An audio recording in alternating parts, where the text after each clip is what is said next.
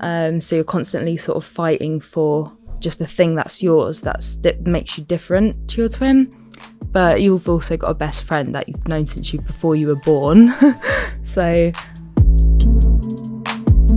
um, so he kind of became the leader of our group, I guess, when we were sort of hanging out at the park, and it's that age where you first start getting that independence. Um, and he was always kind of, I guess, trouble. He was always in trouble, the older one, but and a bit of a bully. But that kind of, I suppose, as a kid, you still want to just be accepted by that person.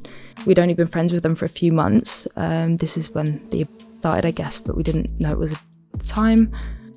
Drew's pushed me down and just dry humped, like with clothes on, but um, maybe five, ten seconds at the most. But it would like push my legs apart and yeah, just dry humped on top of me for a minute. Honestly, um, at least once a week. And James and Drew and his friend James would sort of take their pick with me and my twin. There's like I've suffered with psychosis on and off. Um, when I've had psychotic episodes, I've been worried that they were in the house. I could hear their voices. Um, so it's like two in the morning, I guess. Now I've overdosed to try and get rid of kill the chance of pregnancy from rape.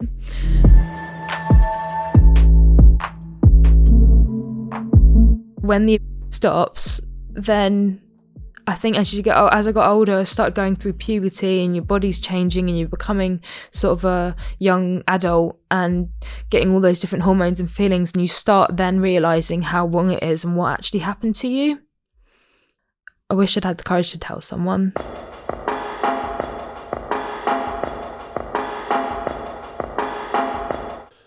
Hello, so today we have got a harrowing story of someone who is extremely brave and talented. She wrote her life story when she was just a teenager, and I think that helped her process some of what she's been through, but she's still living with the trauma of the horrors that she went through as a younger person. And many of you are aware that on this channel, stories of this nature now. This channel uniquely is under a UK police requirement to ask the guest if they waive their anonymity to tell the story on this channel. Do you waive your anonymity, Nita? Yes. Okay, so we've got that bit out of the way. If stories of a dark nature, harrowing, involving horrible things that happen to kids, if that is not something that you feel psychologically you want to sit through right now, perhaps you might want to skip this one and come back and watch some of our other content. So we are going to begin now. All right. Well, huge thank you for coming on. Oh yeah, yes, I'd like thank to, you. I'd like to say um, Nita has a YouTube channel as well, which the link will be in the description box. So please go down and subscribe and and watch what she's doing there because um, it, it is mind blowing um, to hear her story, what she's been through, and how she's emerged from it. Yeah. Thanks so much for having me on here.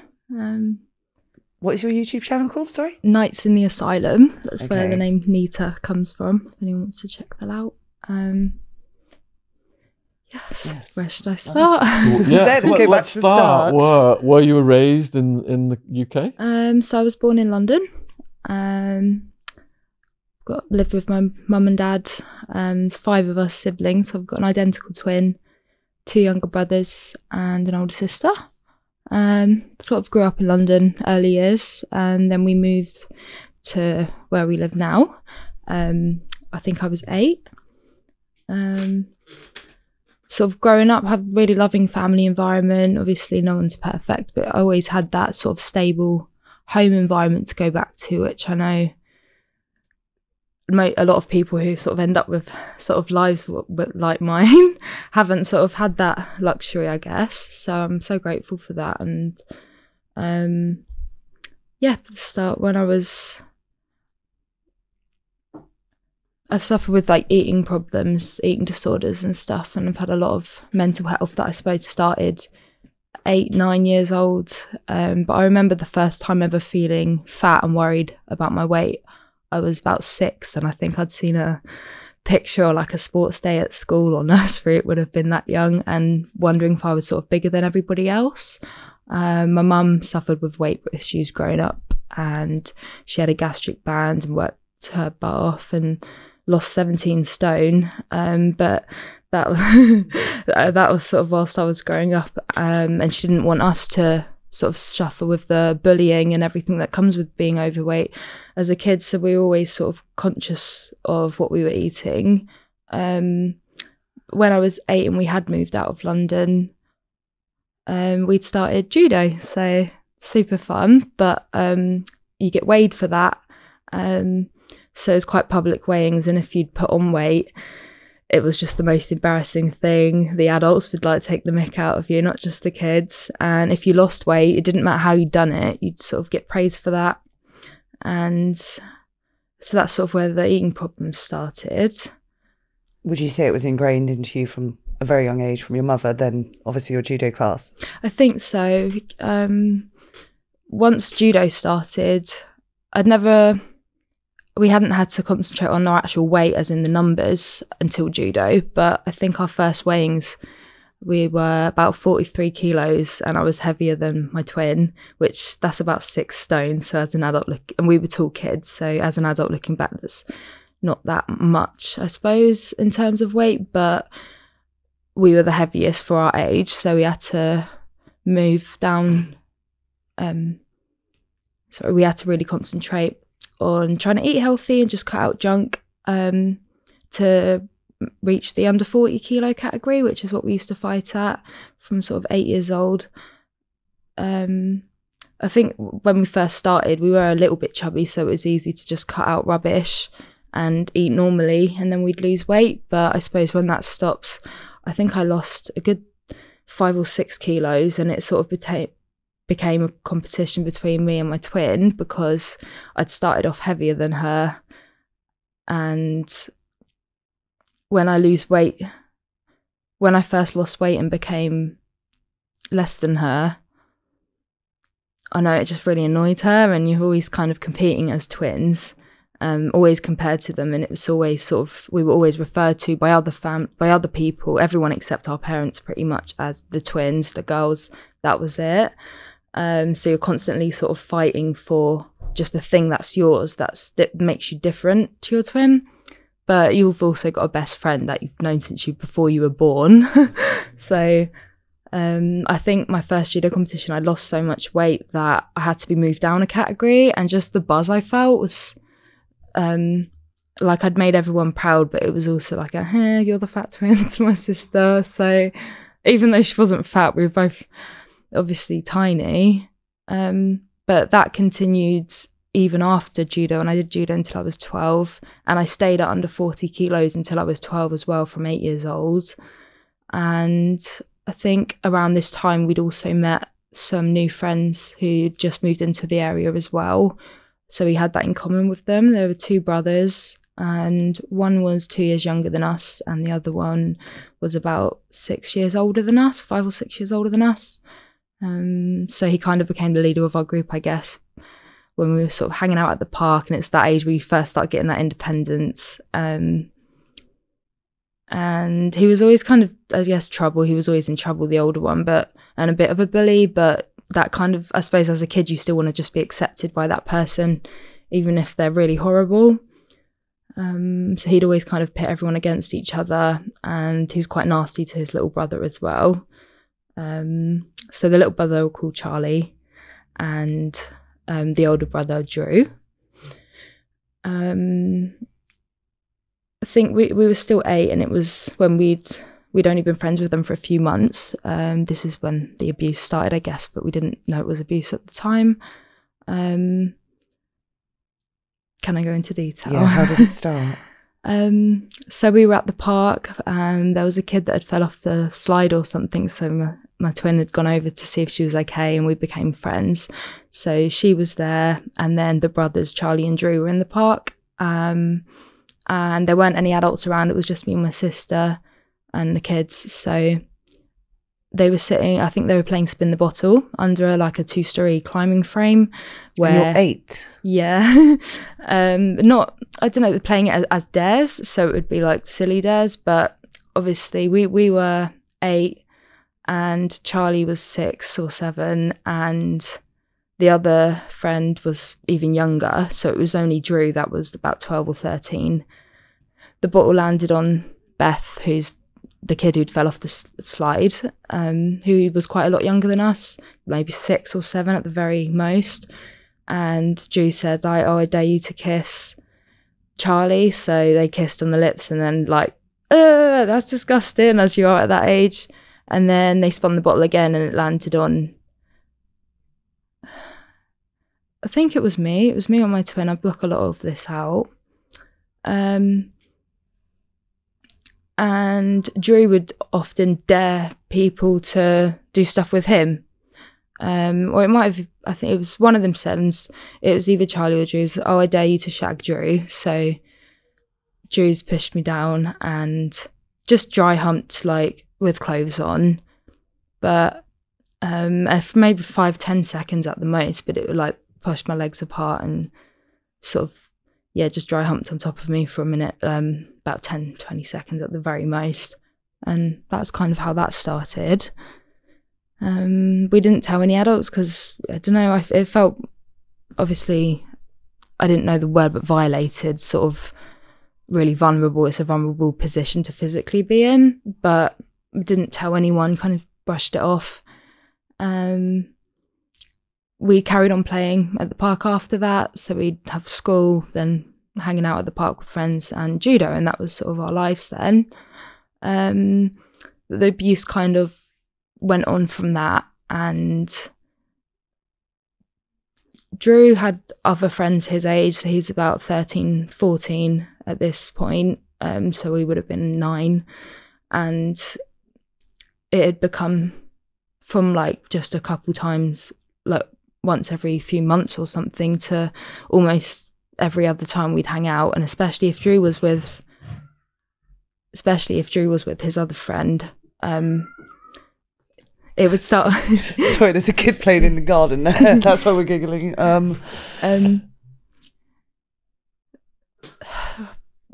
this is like back in the days before every kid had a phone and internet so we'd be out playing games we'd make up in the park and some of them would be fun. Um, but Drew, by this time, had a friend we'll call James, um, who was his age. I think they're thir- 14, 13 and 14 at this point, so we we're about nine.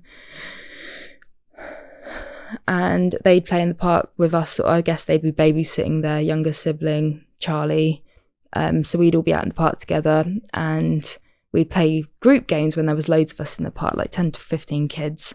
And we'd play one called Kings and Queens, um, where you'd have sort of two kingdoms, opposite ends of the park. There'd be two teams, and you just go and throw rocks and beat the shit out of each other in the middle, like um, sort of fake fighting. Lots of fun. Um, Yep. So we made this game called Kings and Queens in the park when there was lots of us, um, usually like over 10 kids, and we'd make two teams, opposite ends of the park, build a fort on each side, and that would be our kingdom. And then we'd go and have like, like little wars and throw rocks and sticks at each other, like pretend sword fights, all that stuff you do as a kid. Um, but Drew was the king on one side, and his friend James was the king on the other side. And I was on one side and my twin was on the other side. Um, so that turned into, well, I'm the king and you're the queen, so um, that's we do grown up stuff and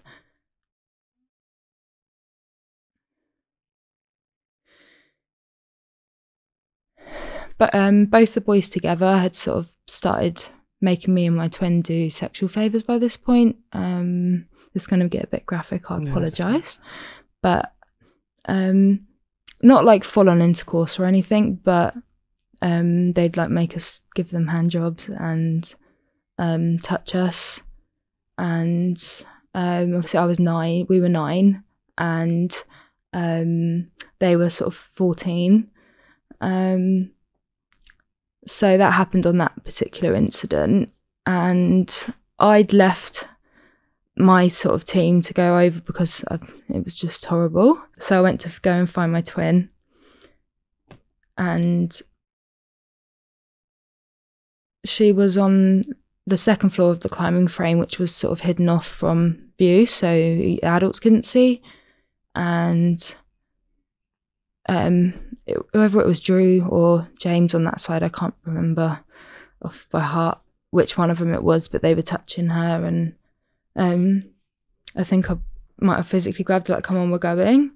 Um, and by that point, the the older boy who was on the other team, who'd been on my team, had managed to get all the kids to gang up on my twin and were throwing like proper rocks and mud at her, and she was crying, and it was horrible. um, we left, but um, think at that age, even when someone's bullying your siblings, it was like I still didn't say anything because I don't know. It's I felt hated by all the kids at school, like something was wrong with me. No one ever wanted to be friends. So it's like if they weren't attacking me, then it was well not okay. But um, I just couldn't ever stand up for us. Um, so we left and we'd obviously gone home. I think we might have had judo training that night. Um, and judo got really intense by this age. So that kind of took away the pain of sort of not, I'd say the bullying at school was mainly just not being included. Like there was something wrong with us. Like no one liked me. I didn't have any friends. Um, but judo was always that one place that I felt safe and happy. Um, and I was good at it. And we used to compete, and we'd be in the newspapers sort of every couple of months. Um, and I'd, i remember after my first couple of competitions, I'd be bringing my medal or trophy into school, like proper happy and really proud of myself. Um, but then after a few, sorry, my stomach. Uh, um, but after a few times, sort of the kids started calling us the judo freaks and bullying us. I think, and looking back now, it might be jealousy, but at the time, it was just, it made me start hiding any of my successes.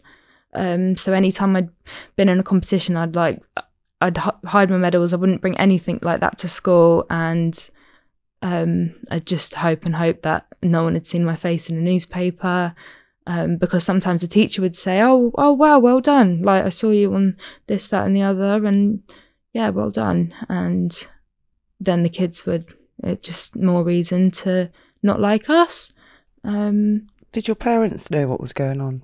No, so we never told them, and I think because whilst I was still junior school age, um, my behaviour wasn't that bad, so we've just turned channeled the pain inwards, and I think if they'd known whenever they did find out sometimes that we were being bullied, like it would just come out. I think when a kid's under that much pressure, you can hide it and hide it, but then eventually it just all comes out in one big sort of explosion of emotion or actions. And that's sort of always how I've been.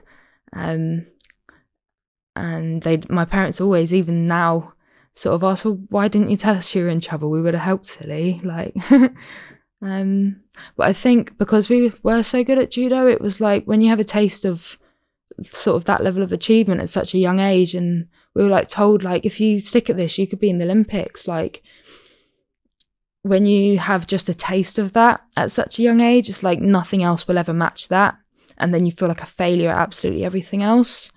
Um, so at school, I never really struggled with academically. I was just good at everything. I didn't really have to try or focus, and I'd be top of the class. And um, I was good at sports and music as well, so I never really had to try. Um, and I enjoyed learning. I to find it interesting as a kid. Um, but I think that might have been partly another reason for the bullying from school. Um, but Drew, so the older brother, who's one of the abusers, he he had a lot of all of his friends, a lot of their young, younger siblings were in my year at school, so he'd turn everyone against us, and the older kids his age started bullying us. So Drew's group of fourteen and fifteen and sixteen year olds were really quite badly bullying me and my twin. Um, and that sort of reached a breaking point when I was 11 and I'd been like harassed by this point for about three months consecutively, where it was almost every single day, and I'd just go home crying my eyes out from school. And I was still in junior school, and these are all high school kids. And um, During this time, was the abuse continuing? Um, yeah, sorry, I'm jumping a back, No, no, it's forward and fine. back a bit with timings. Um,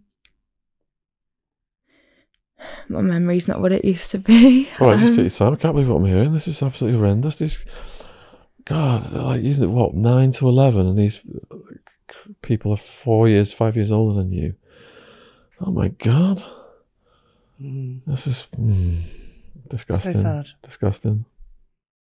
um, so I'm gonna uh, trying my best to do it in order, Yeah, go so for it's it. easier to understand because I've jumped forward and back a lot. I apologise. Okay. But um, I think obviously the bullying at school, the kids started to also call us the calorie freaks because I remember seeing my mum read the cal- back of calories when she was quite big at the time as well. And to help us keep weight down for judo, she just sort of, they'd never like, um, they'd never physically force us to diet or anything. They it always up to us.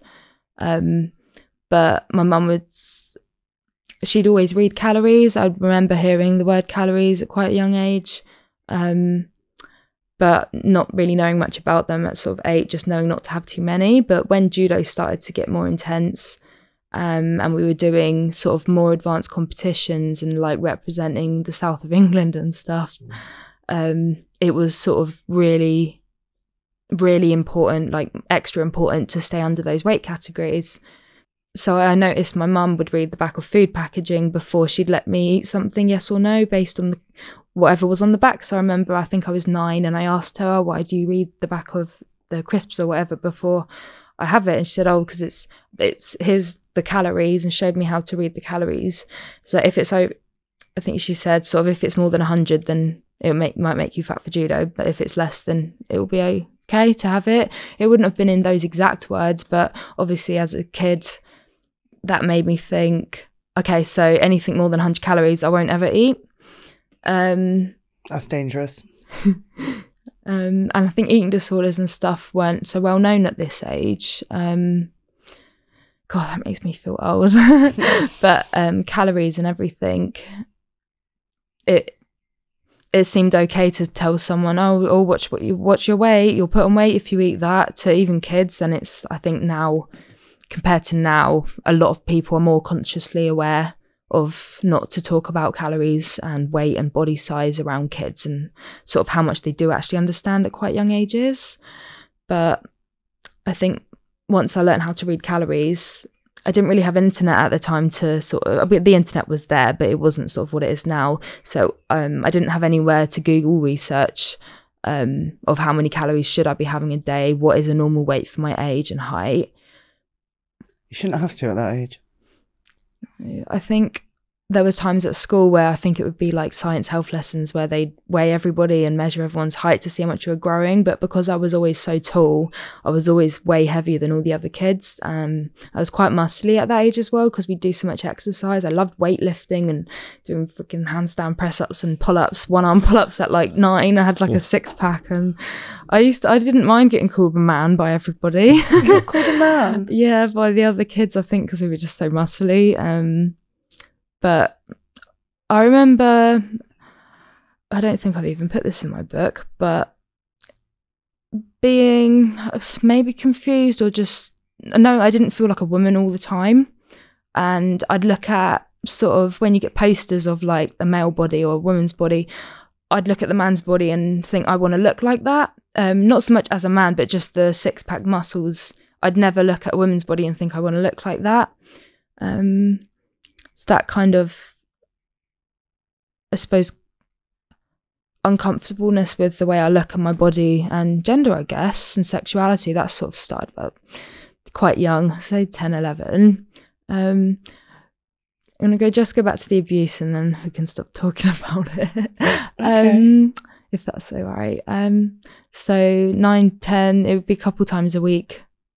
Honestly, um, at least once a week. And James and Drew and his friend James would sort of take their pick with me and my twin Was it always in the park?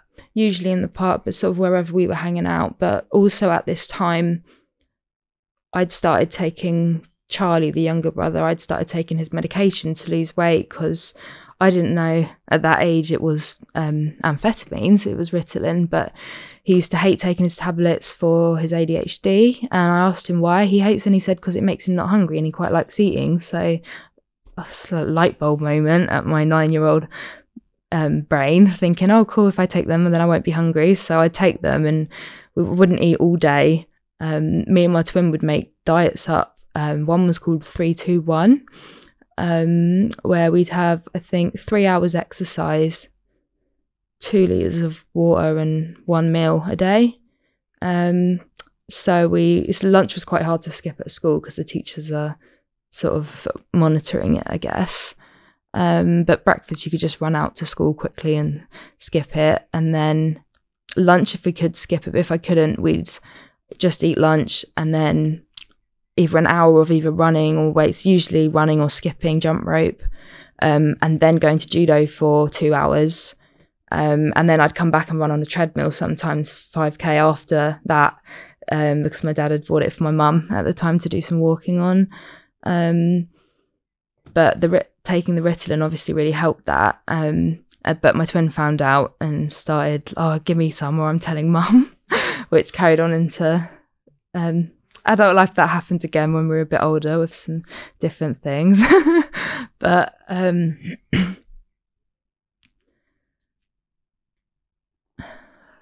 sorry, I forgot what I was going to say. Yes. It's all right. You said that um, something else happened with the abuse that you're going to talk about. Um, yes, thank you. So, That's um, looking back now, and when I sort of tell anyone about that abuse, they must think, sort of, why on earth would you go back to the park or go back to hanging out with these people that are doing these things to you? Just a kid, weren't you? Didn't know any better. I think um, it was also because not just being a kid and wanting to be accepted and thinking that this is normal, everyone else must go through this too. But I stayed friends with Charlie to get Ritalin off him to lose weight, and to stay friends with him, often his older brother would be there. Um, but when me and my twin would take it, it would just make it easier to not eat all day. And say we were allowed out till 8 p.m., we'd lie and say, oh, we're eating dinner at so and so's house, but they're not eating until nine. So we'd stay out for like an hour or two later and not have to eat anything. And it just felt great. And um, it was great for a while. But I think when you're starving, which eventually we were, I guess, we never re- reached like an emaciated weight, but we'd always be competing ju- with each other as well as for judo whilst growing at least a foot taller in those four years that I stayed under six stone from eight until 12 years old. Um, but about 11, so the, the abuse, I don't know, I think because the abuse made me quiet and withdrawn at school and I guess at judo, it made it, made me less made me fit in even less, I suppose. So even at judo, we started getting picked on by a couple of people, and it wasn't like horrific bullying, but it was more the not being including, no one wanting to be around you or being like last to pick, last picked for teams and stuff.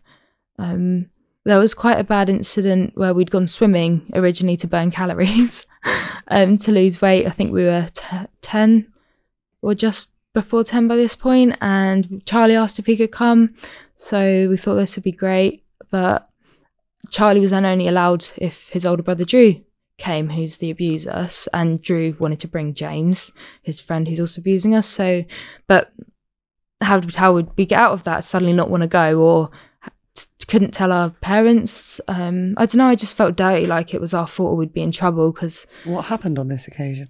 so we went to the swimming pool. Um, we were originally going to go to a really boring one that was just perfect for lane swimming. Um, and it's quite funny sometimes, like the swimming, we'd be like, to try and make the other one fatter than uh, each other, we'd like, I'd be sneaking from my food from my plate onto her plate when our mum wasn't looking, like thinking that that was going to make her gain loads of weight. um, and like swimming, we'd be like swimming lanes, like pushing and shoving and like pulling each other's hair, and just adults must have looked at us thinking we were horrible.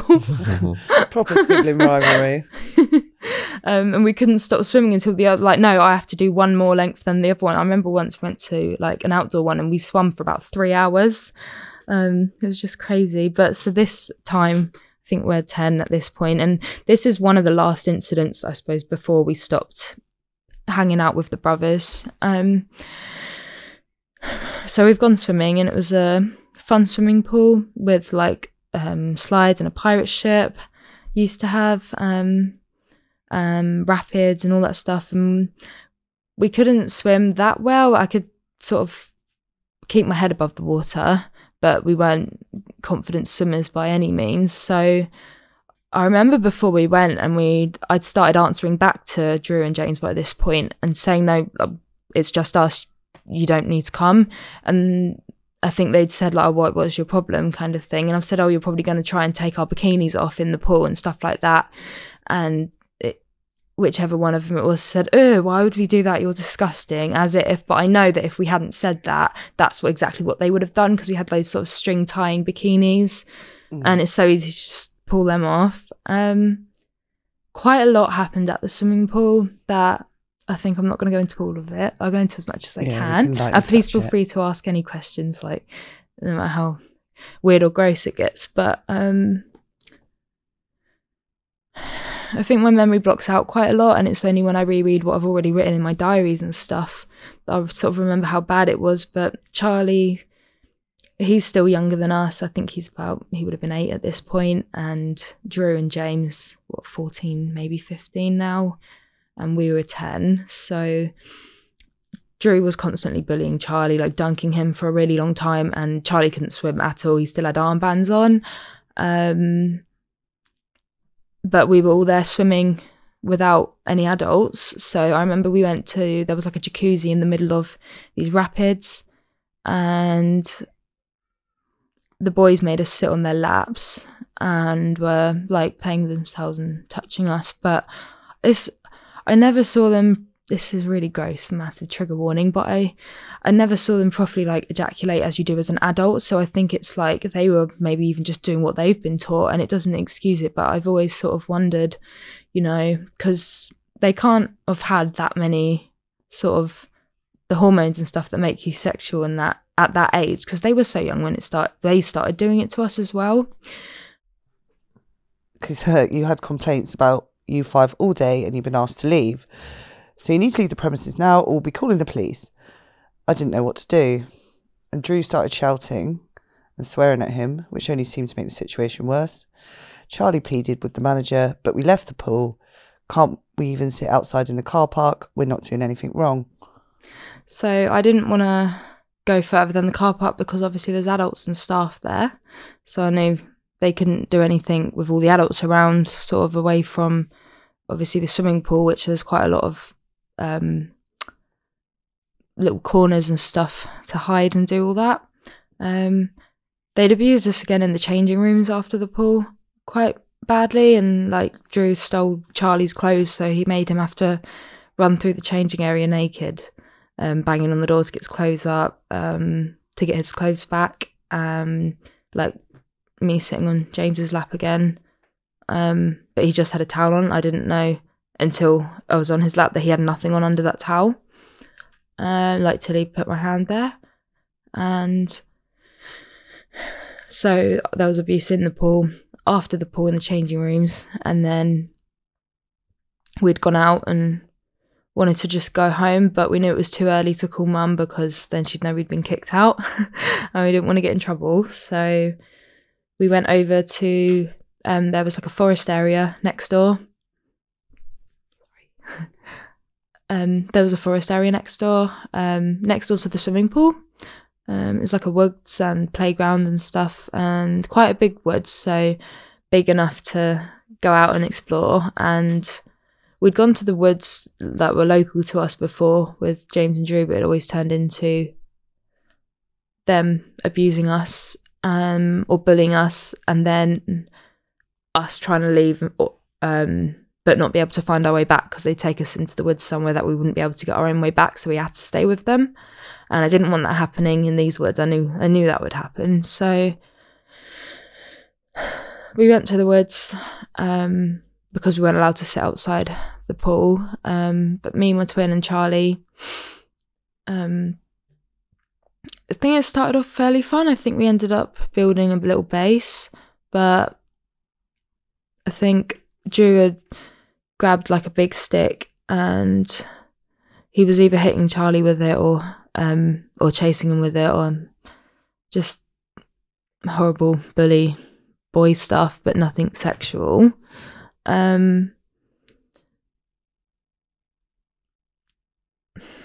I think they'd gone for a wee, so they had the um, bits out, and they'd taken us into the woods deep enough for us to. We were almost too deep in the woods to be able to find our own way back. Um, but I think wasn't. Sorry, can we pause for a second? Can I skim through that because I want to do it in order, but I just I block a lot of this out. so, so it's like when it's on paper, then I don't have to think about it because it's it doesn't have to be in here now. It's on here. Um,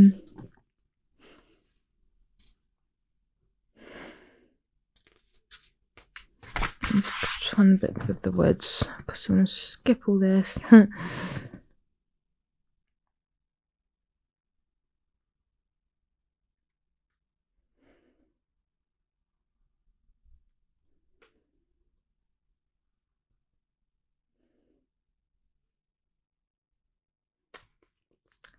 I'm going to skip a little of that because it's.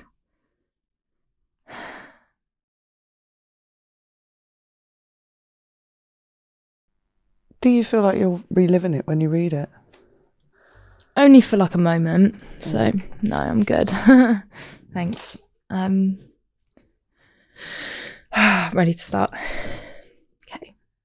Um so we were in the woods at this point and they were trying to get us to suck the dicks. It was like one thing that I'd never do out of all the abuse. Um I think they'd only really physically tried to get us to do it maybe once before and the rest of the times of them trying to get us to do that that particular thing was all verbal. But we were in the woods and um like james and drew on me and my twin like one each and i sort of knew the drill by this point and thought like you just you know just lay quietly it'll be over in a minute. But um they were trying to get us to suck suck them so i think I've been pushed on the floor. They got slapped in the face. Um, sort of dragged by the scruff of my neck on my clothes to. It was James Drew pulled me down on the floor trying to get me to suck, um, but I wouldn't. So I should have just bit it. Thinking back now, um, I think I was crying by this point, and I think Drew had hit or beaten up Charlie, so Charlie was crying as well, and um, I managed to. There was like a tiny little space where I thought it's now or never I, need, I can escape. So I managed to get up. I think the boy that was on me um, had his back turned for just a minute. So I got up and then I grabbed by her hair to put her up, like, come on, we're going. Because um, I think she wouldn't have left without me and I wouldn't have left without her. And I think the boys knew that and they'd often use that um, sort of subconsciously. Um, so I think we just ran as fast as we could. Um, it was hard. I can't remember why my legs were hurting. I think because of the abuse that had happened in the pool. Um, but we just ran and ran and ran.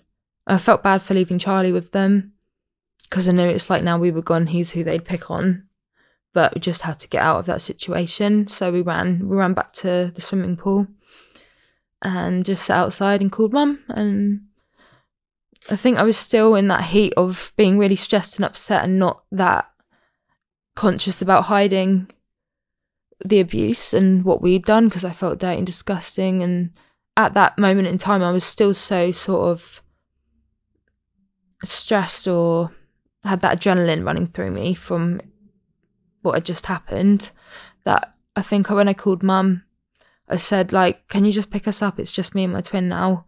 Um, yeah, the boys we've left them. They wanted to go off and do their own thing, and they're going to get their own way back. um, and my mum was obviously because they were still kids as well. She didn't want to, like, she didn't want to leave them with no lift back if that wasn't the case. Um, because obviously she's the responsible parent, and if she'd got us somewhere, she'd get us home too. Um, but um, I think she said like, "Why? Why aren't you? Where are the boys?" And I said, just really, really quickly and probably quietly as well. Like, oh, they said we can only stay with them if we suck their dicks. So, um, and mum kind of asked down the phone, like, what? And I was just like, no, no. Um, oh, no, don't worry, you know, um, I just, we fell out with them. Can you come and pick us up?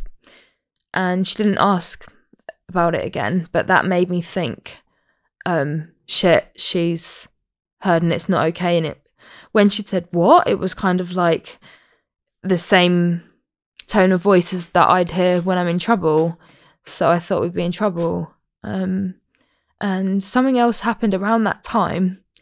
And I only found this out a couple of years ago. Our older sister, who's nine years older than us, had um, she'd had a dream that I had been raped at the time, and my twin had been abused, but by the boyfriend she was with at the time, and that was in the dream. And we were ten at that time, and obviously, how can you ask a ten-year-old, "Hey, I had this dream. Did this happen?" because you think that they don't even know what that is. But um, I'm not a religious person, but I'm quite spiritual, and I do think you get signs and stuff. Like I get sort of warning dreams, or you know, you just suddenly have a feeling you're worried about a person. You might not have spoken to them for years, but you just suddenly have this feeling of like dread, like something bad's going to happen, and you need to call them. I get that sometimes, and it often checks out to be justified after it's happened a few times like almost like pre-warning someone of a car crash that actually then happened. Sixth sense. Yeah. um but yeah, my older sister, she'd had a dream that we'd been raped at around the time that it happened. And we didn't find out until years after and just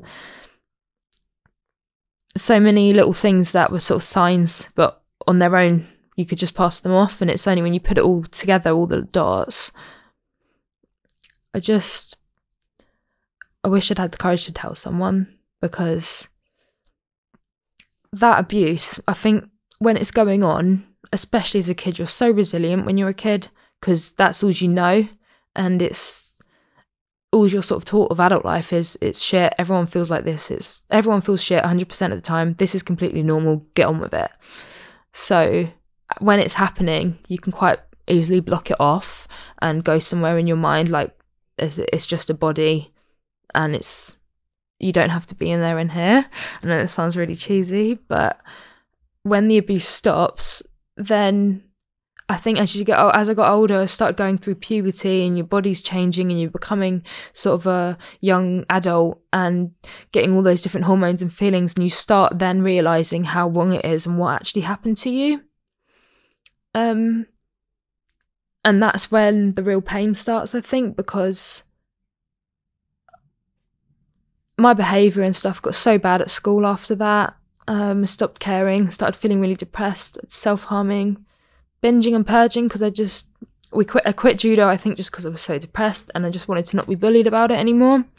Um, so after like after the abuse, I think so there was a swimming pool incident and then the sort of finale, if you will, um, in the park when I've tried to get the Ritalin off Charlie and his older brother's there, and it's gotten into a full on rape.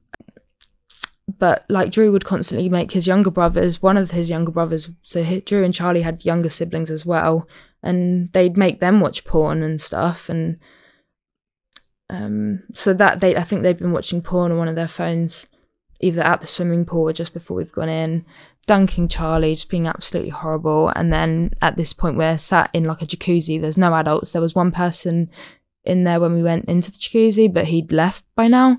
So I think I was sitting on Drew's, Drew or James's lap, and my twin would have been sitting on the other one, um, just touching us and stuff. But I think eventually. Did, did they penetrate you? No. Um, they'd like stick their fingers in, but it's never like low enough to go properly in, but um, like enough to bleed sometimes. Um, I think one of them had started. We'd started jumping from once we'd got off their laps. They'd started sort of jumping or throwing Charlie from the jacuzzi over the railings and into the rapids, and he couldn't swim. So they'd kicked us out of that bit, so we got to finally leave that part of the pool. Um, a few other things happened, but just on the similar lines. Here's a message from our sponsor. So, Jen, have you ever like signed up for a gym or something or other, and then they just keep taking this money out of your bank? Yes, it's really, really frustrating. Um, you know, if you want to cancel, you want to cancel straight away. Do you know why free trials renew without your consent? It's something that drives me mad. Absolutely mental. Of course, it's a business scam out to get you. Don't let greedy corporations pocket your money. Download Truebill to take care of your subscriptions. Truebill is the new app that helps you identify and stop paying for subscriptions. That you don't need, want, or simply forget about. On average, people save up to $720 a year with Truebill.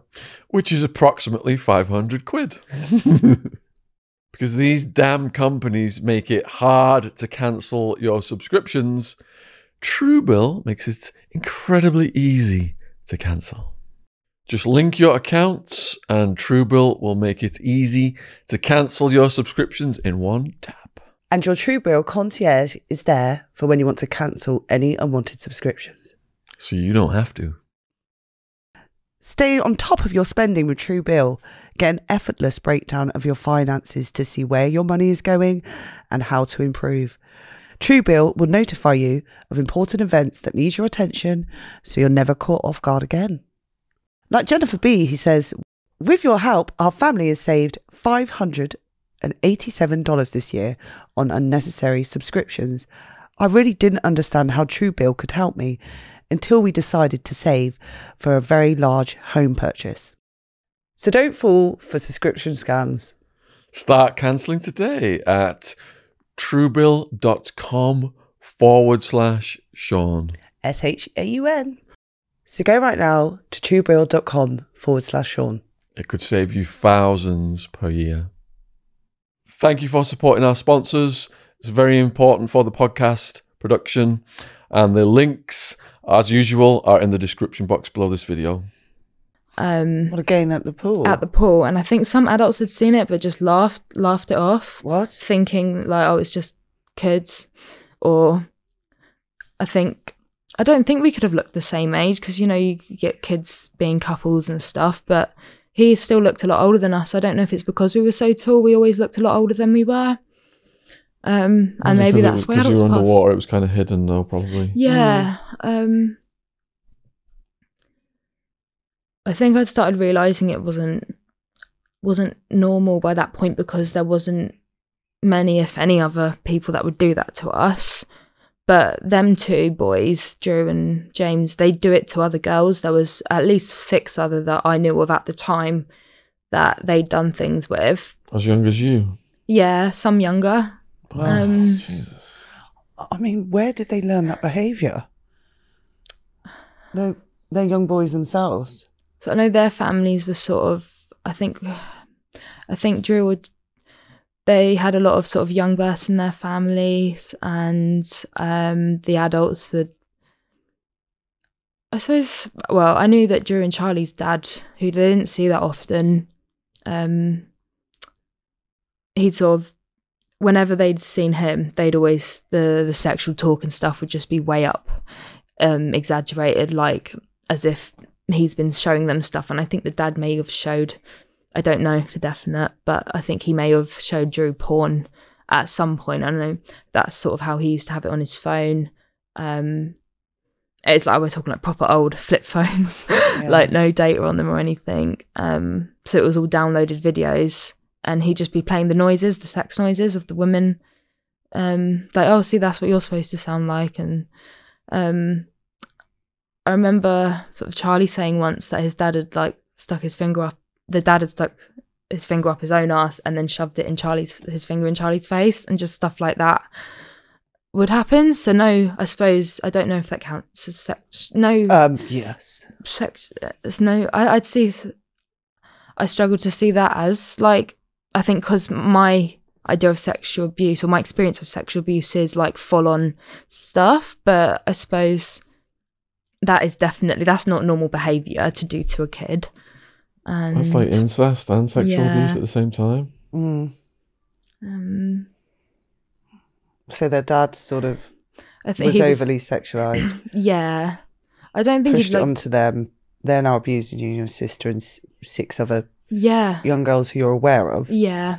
And there were there Various were ages. others, a sort of age seven, six or seven to about, I guess, fifteen at the time, and then as they've got older, none older than them, but always sort of between, usually between like ten and twelve, but they'd go a bit older and lower. It's- It's just horrible. Um, like I remember as an adult, I think when my book did come out, which I'm gonna redo under my name, Nita. when it originally came out, it was in my real name, and I bumped into somebody at a bus stop who said he recognised me from. He knew who we were growing up, but he said, "I'm so sorry this happened, but this happened to my daughter as well by them, and they'd gone through the police as well." Um, so, So that was another did person. get involved Eventually, yeah. eventually. Um, Did you meet any of the victims when you when the abuse was going on? Um, I suppose we'd hang out with one of them, but it was more as we were kids, we were all friends, and then that abuse would happen, and it's like you almost shut it off even at the time and normalize it. But because it was happening to other people, that mm, installed into me even more that okay, this is normal and this happens to everyone. And it's like made me think sort of that's what girls are for and that's what boys do. Um, there was a couple more incidences like sorry i'm struggling to say it all in order. Yeah, go the um, next we one used to slowly. hang out on garage roofs that were next to the park. So there was the park we'd hang out at where a lot of stuff happened a block of flats and garages that were for the flats but that we'd all hang out on the garage roofs and like build forts and people's back gardens were on the other side of the garage roof so we'd like play in the end of the garden that was all overgrown and blocked off and build a fort and just have fun but drew and james had found it and then trashed it. Like we'd spent days building this thing and we had like a massive rope swing on a, like beautiful massive oak tree. And because the rope was so high it, the swing would just go so high as kids. Um but they'd gone and trashed it and abuse used to happen up there sometimes as well. Um there was like a bed sheet because we'd sort of take like couches and stuff from the bins by the flats to take to our fort to our base. And i think you know every, i think every kid has that special place where it's like a den or a fort where they can go to where adults don't know about it. But i think because adults didn't know about it all, a lot of kids knew about this one. It was just a good spot and everyone used to build bases there. But um i think drew and it might have just been drew this time but he oh yeah james couldn't get up he was too fat to climb up the wall to get onto the roof. So we'd go on the garage roofs and there was a bed sheet where we'd been i think there was an old sofa bed at the back of one of the gardens so it was we'd taken it for, for that. Um but he'd sort of covered it over him. I can't even remember how we got into this scenario but charlie and me were sort of playing behind the garage roofs in the back gardens of the houses that backed onto them. And Drew was under a sheet with my twin. Um, just see the sheet obviously going up and down. They weren't having full on sex or anything. I think it was like, well, I guess dry humping, like with clothes on. But um, then she, it's like then she came out and then it was my turn. Um, and Drew called me over and he's like, it's weird because it's sometimes he'd be so like forceful with words or he always I was always scared of him like I had to do things. I felt like I had to. But then in between that it would be loads of sort of positive reinforcements like um that most abusers do. Like he'd never do the usual which is like what other abusers have done to me where oh you're so beautiful. Oh you you really are amazing whilst they're hurting you. So I really struggle being called beautiful or pretty or anything along those lines because it feels like that's just what people say before they hurt you. Um, but I remember being under the sheet and him um, sort of anal basically. It didn't go in properly, but it was proper. He was touching me. It wasn't no clothes or anything, and it was under the sheet. And I remember him saying, "Oh, your sister never let me do this. Like it's disgusting." Um, but then that made me feel like I'd let him do it.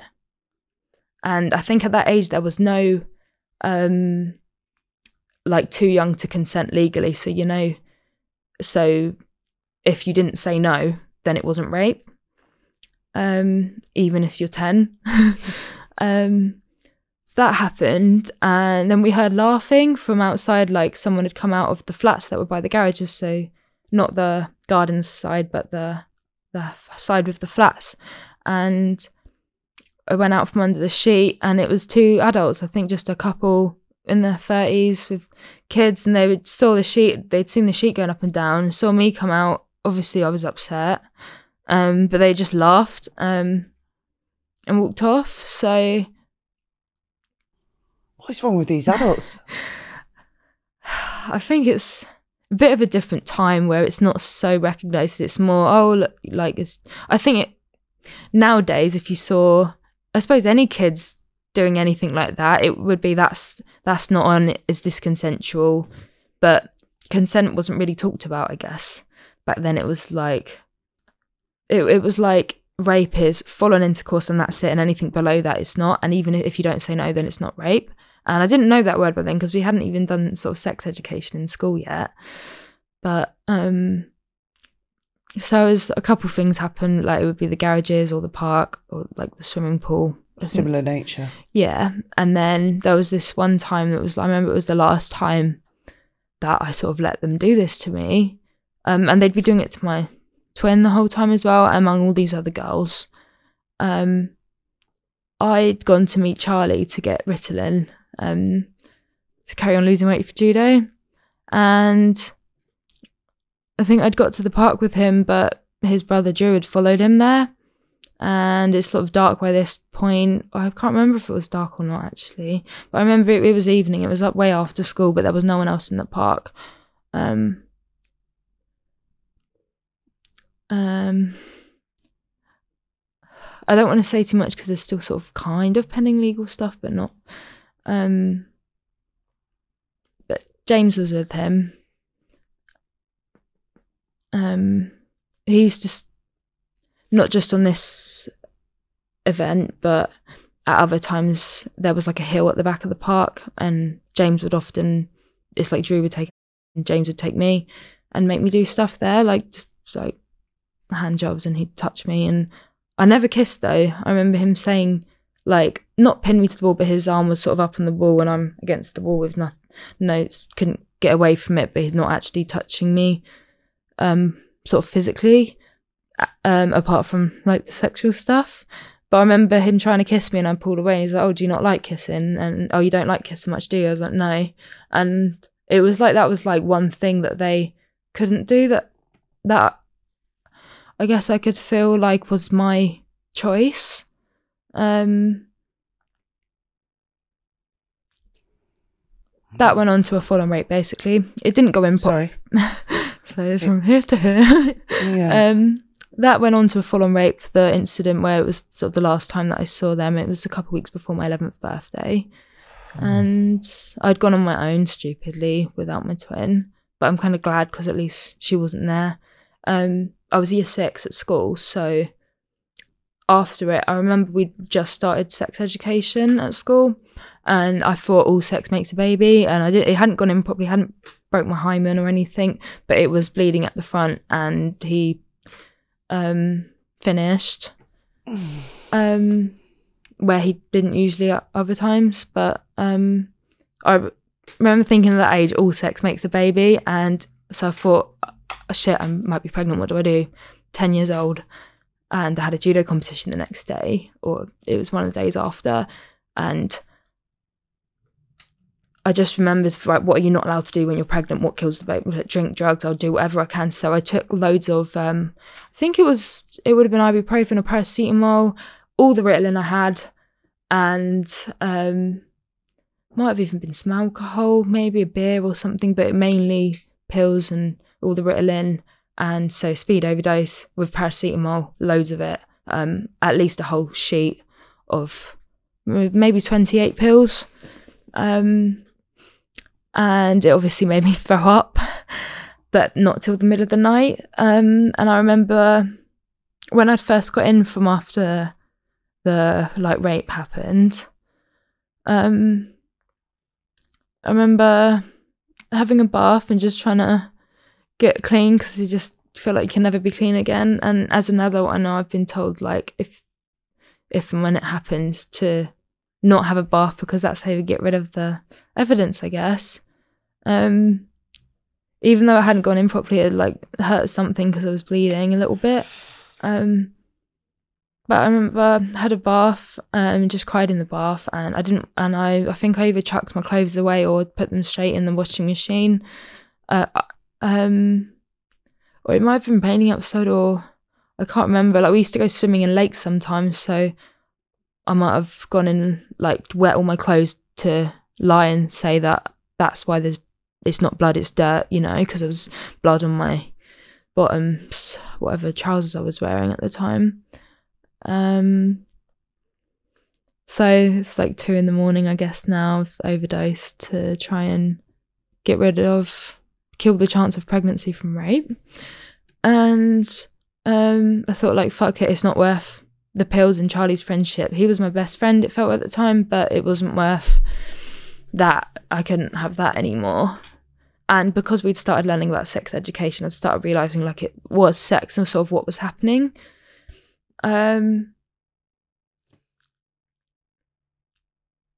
the I think we had a judo competition the next day, so I'd been throwing up all night. I think obviously this the speed or the Ritalin would have kept me buzzing all night. And I still got up and went to the judo competition the next day. And I think my mum says, as an adult, like she remembers it. She remembers that day. And I couldn't, I think I was about to fight and I threw up everywhere, just oh. gone white as a ghost. Threw up um, on the floor, like right by the judo mat, and freaked all the adults out. And like the smell made another kid sick. So they thought there was like a bug going around. um, you know that really painful burning bile sick because you've got no food to like mm. yeah and my heart was doing weird shit i think because of the drugs but i didn't yeah. I'd started be having i suppose anxiety episodes at the time so it felt kind of normal for me but i didn't have to fight. Um so I, I think oh fuck. We can block names out. So i didn't have to fight um I think my twin went on and might have won a medal that time. Um, so it was nice to see my twin kind of just have a bit of praise and um, achievement that's just hers that day because it's it's hard as a twin like having nothing for yourself and it's always having to compete and be better than the other one. But my parents were very very aware of making sure we both felt equally praised equally loved. There was never any special treatment and like if one of us had won something or was having a really good day and the other one hadn't, they'd make sure to give the, the other one lots of praise as well. So we both knew. So like we were both just happy and loved like my parents. I've got mad respect for them. They're amazing and uh, um, despite all the shit I caused them sort of as a teenager because of the abuse and that. Um, yeah, I wouldn't trade them for the world. I'm really lucky.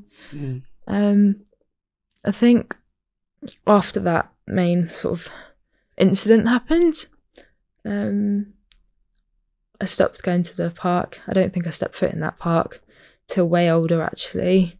But um, so the sexual abuse had stopped, but the bullying had got way worse with James and Drew because they were James kind of disappeared off at this point. Um, but Drew he was friends with, I think they were all in year 10 at school. Um, we were still year six. And one of his friends who we'd hung out with briefly, she was one of the girls who was being abused by him. Um, I think she'd, I think she'd sort of, she's one of the girls that would get all the boys, and it was quite, it wasn't uncommon to call someone a slag at that age. So, mm. um, I think me being a kid and still like 11 or 10, I didn't understand how much how sort of offensive it was to call someone that. So like I knew it was a bad word not to say it to someone's face, but um, I was with a mutual friend who was a bit older and he's like, "Oh, I know so and so," and I was like, "Oh yeah," and he's like, "Oh, apparently they're with, apparently they have got like two, three boyfriends," and I was like, "Oh yeah, no, I heard they're a bit of a slag, but like, as in, I'm still friends with her, not in a bad way, just." I was too honest as a kid. Um, a lot of the time. When I was Um, younger, the slag was thrown around a lot. I didn't think it was that bad. So, but he, nowadays it's yeah, different. it's been brought to light how, yeah, I guess I say full, and there wasn't. It didn't go in properly, but it was. T- uh, it was still enough to bleed. And after that, I think that's when I started getting depressed. Quit judo. Um, stopped trying at school. Um, I'd had a fight by this point with an older kid, so 11 at this point. The abuse has just stopped, finished, but the bullying started. So I wasn't being abused sexually by Drew anymore or James, but they'd started bullying us and getting everybody, all of the kids their age and our age, to just hate me and my twin. And there was about a three month period where I'd I had to walk past this, the girl, the girl who'd been also abused by Drew but was friends with him because she was his age. I had to walk past her house to get to school, so to and from school. And oftentimes there'd be 15, 20 kids from age 14 up to even 18, honestly, like on mopeds. And I had like boiling hot water out of a kettle thrown at me out, out the window of the flat. Like it didn't hit me more than splashes, luckily. Um, I was physically, I guess it counts as physical assault now, but I was sort of grabbed by the throat and threatened with a knife by um, an 18 year old on a moped, and I was 11 at this time. And that was all mainly because the person I talked to about the slag word, um, not knowing that it's really that you can't call someone that and still be their friend after. Like, he'd gone, the person I told that had gone to the girl, and it's she thought I was bitching about her. I don't know, probably rightly, wrongly. um, that's why she started hating me. But then had got all of their friends to hate me, and yeah, I had like boiling water thrown at me. This is every day after school. Um, shouts constantly. They'd shout at me. They'd pull my hair, um, and just shout calorie freaks, like um, calorie freaks, judo freaks, ugly. They'd call me ugly, call me fat, even though I still weighed six stone and I was probably five foot two by then. So um, I remember one day I just had enough and I couldn't do it anymore. I was crying every single day after school, crying at school. Sometimes I'd just break down and cry. And um, I was walking home from school and she's there with all with Drew and I think James would have been there as well and all their 15 14 year old friends who were in year 10 and 11 at school and I was there year 6 in my little junior school uniform and I was said in front of everybody. I just called her out and said like I'm sick of this shit. Fight me tomorrow at the park. Come on. Like I'm sick of your shit. Like fight me tomorrow. And I know she couldn't back down because everyone had heard it. So next day, I I told my mum and dad I was going to have a fight because they'd seen her bullying me. Um, so obviously they don't condone fighting, but they knew she'd been hurting me. And I suppose thought thought that that that would be end end of it. Um, so I'm 11 at this point, junior school. I've gone to school. I remember it was SATs week. That's why I went in the day after because even with like after all that um emotion and stuff so i'd gone to school that day like couldn't concentrate on anything and i didn't really tell anybody my age because well it was all kids from the high school i didn't not i wasn't really friends with any of them and they didn't like me anyway so didn't tell anyone at school but as soon as the bell rang like three o'clock or whatever time it would have finished I went straight to the park in my junior school uniform. I think i tied my hair back like shitting myself honestly. But um i got there expecting about maybe 10 kids to be there honest to god that park. I got into the park there must have been 50 kids there all with high school uniforms some on mopeds so they like how old do you have to be to drive a moped like these were big 16. kids um and like i thought they'd all be bullying me or all hating me like everyone like I thought they were all her friends, but they weren't. They were a lot of them were just people there to watch a fight. So I'd got there and I'm getting a round of applause, like yay, go on then, like. At this um, point, you're thinking your judo skills might, Yeah, might come in win the day. Yeah, oh it was just like, um, it, it felt like walking into like a boxing ring. um, so I got to there. I think she was. I got walked into the park, and everyone's sort of crowding around with their little Nokia flip phones. um, this would have been like 2006. So can you imagine like the picture quality? Um, I think there was someone filming. It was where that had just, just started. It was just starting that things were being filmed and sort of shown everywhere. Um, but I've got in there and walked up to the swings, and she was sitting on the swings. Um, she was didn't seem as mouthy as she as she was all the time. Um, and I think she said like, "Well, I'm not going to hit you. You hit me first. So, um, I thought about backing down, but there was all these kids there, and I didn't want to call her out and then back down because even at that age, I knew like that's just going to open me up to bullying for everybody. Um, bit of dirty fighting, but I went up behind her. I got her in a. So I thought I was going to choke her out. So I, I walked like she could still see me. Like I didn't just sneak up behind her. I walked in front of her and then behind as if I was going to walk off. So I grabbed her behind doing a headlock where you like um, lock and like a proper one. A judo Um, one? Yeah. Is it called the figure of four? Oh, I can't remember, but it, I think it might have been a jujitsu one. but um, you know, you kind of arm around the neck and then you lock Mm. your arm after, so that I tried to do one of those, but she'd like I think because she was still sitting on the swing at this point, she'd pulled me over her head, um, so I grabbed on her hair, um, ended up on the floor. I think she was choking me at one point by my hood, so my sister kind of booted her in the head, and then everyone's pulled about. back like no one on one. Um, but I think because we were so young, we were like we were eleven and she was fifteen. Um, I think she only got a couple slaps in, but I remember pinning her on the floor. And after my sister had kicked her, I think I, I managed to get on top. It was more this is ground fighting. Got on top of her, and obviously judo, you don't fight, you don't punch or hit, so that wasn't a natural thing for me. So I'd got her in like a judo hold, and then um, the kids are shouting like, "Oh, unhit her!" Like, it's boring now. And these, I thought they were her friends, but they were obviously just there for a fight. And when I told my older sister, my dad, the day before, like, "Yeah, I'm gonna have a fight tomorrow," just so you know. um, my sister said like because i explained to her about the bullying and i said my older sister i'd said yeah she's been bullying me for months and she's like how? When you win you should get her on the floor and make her say sorry. So i did that. I slapped her must have been 20 slaps really hard slaps on her face um and then pinned her down and made her say sorry.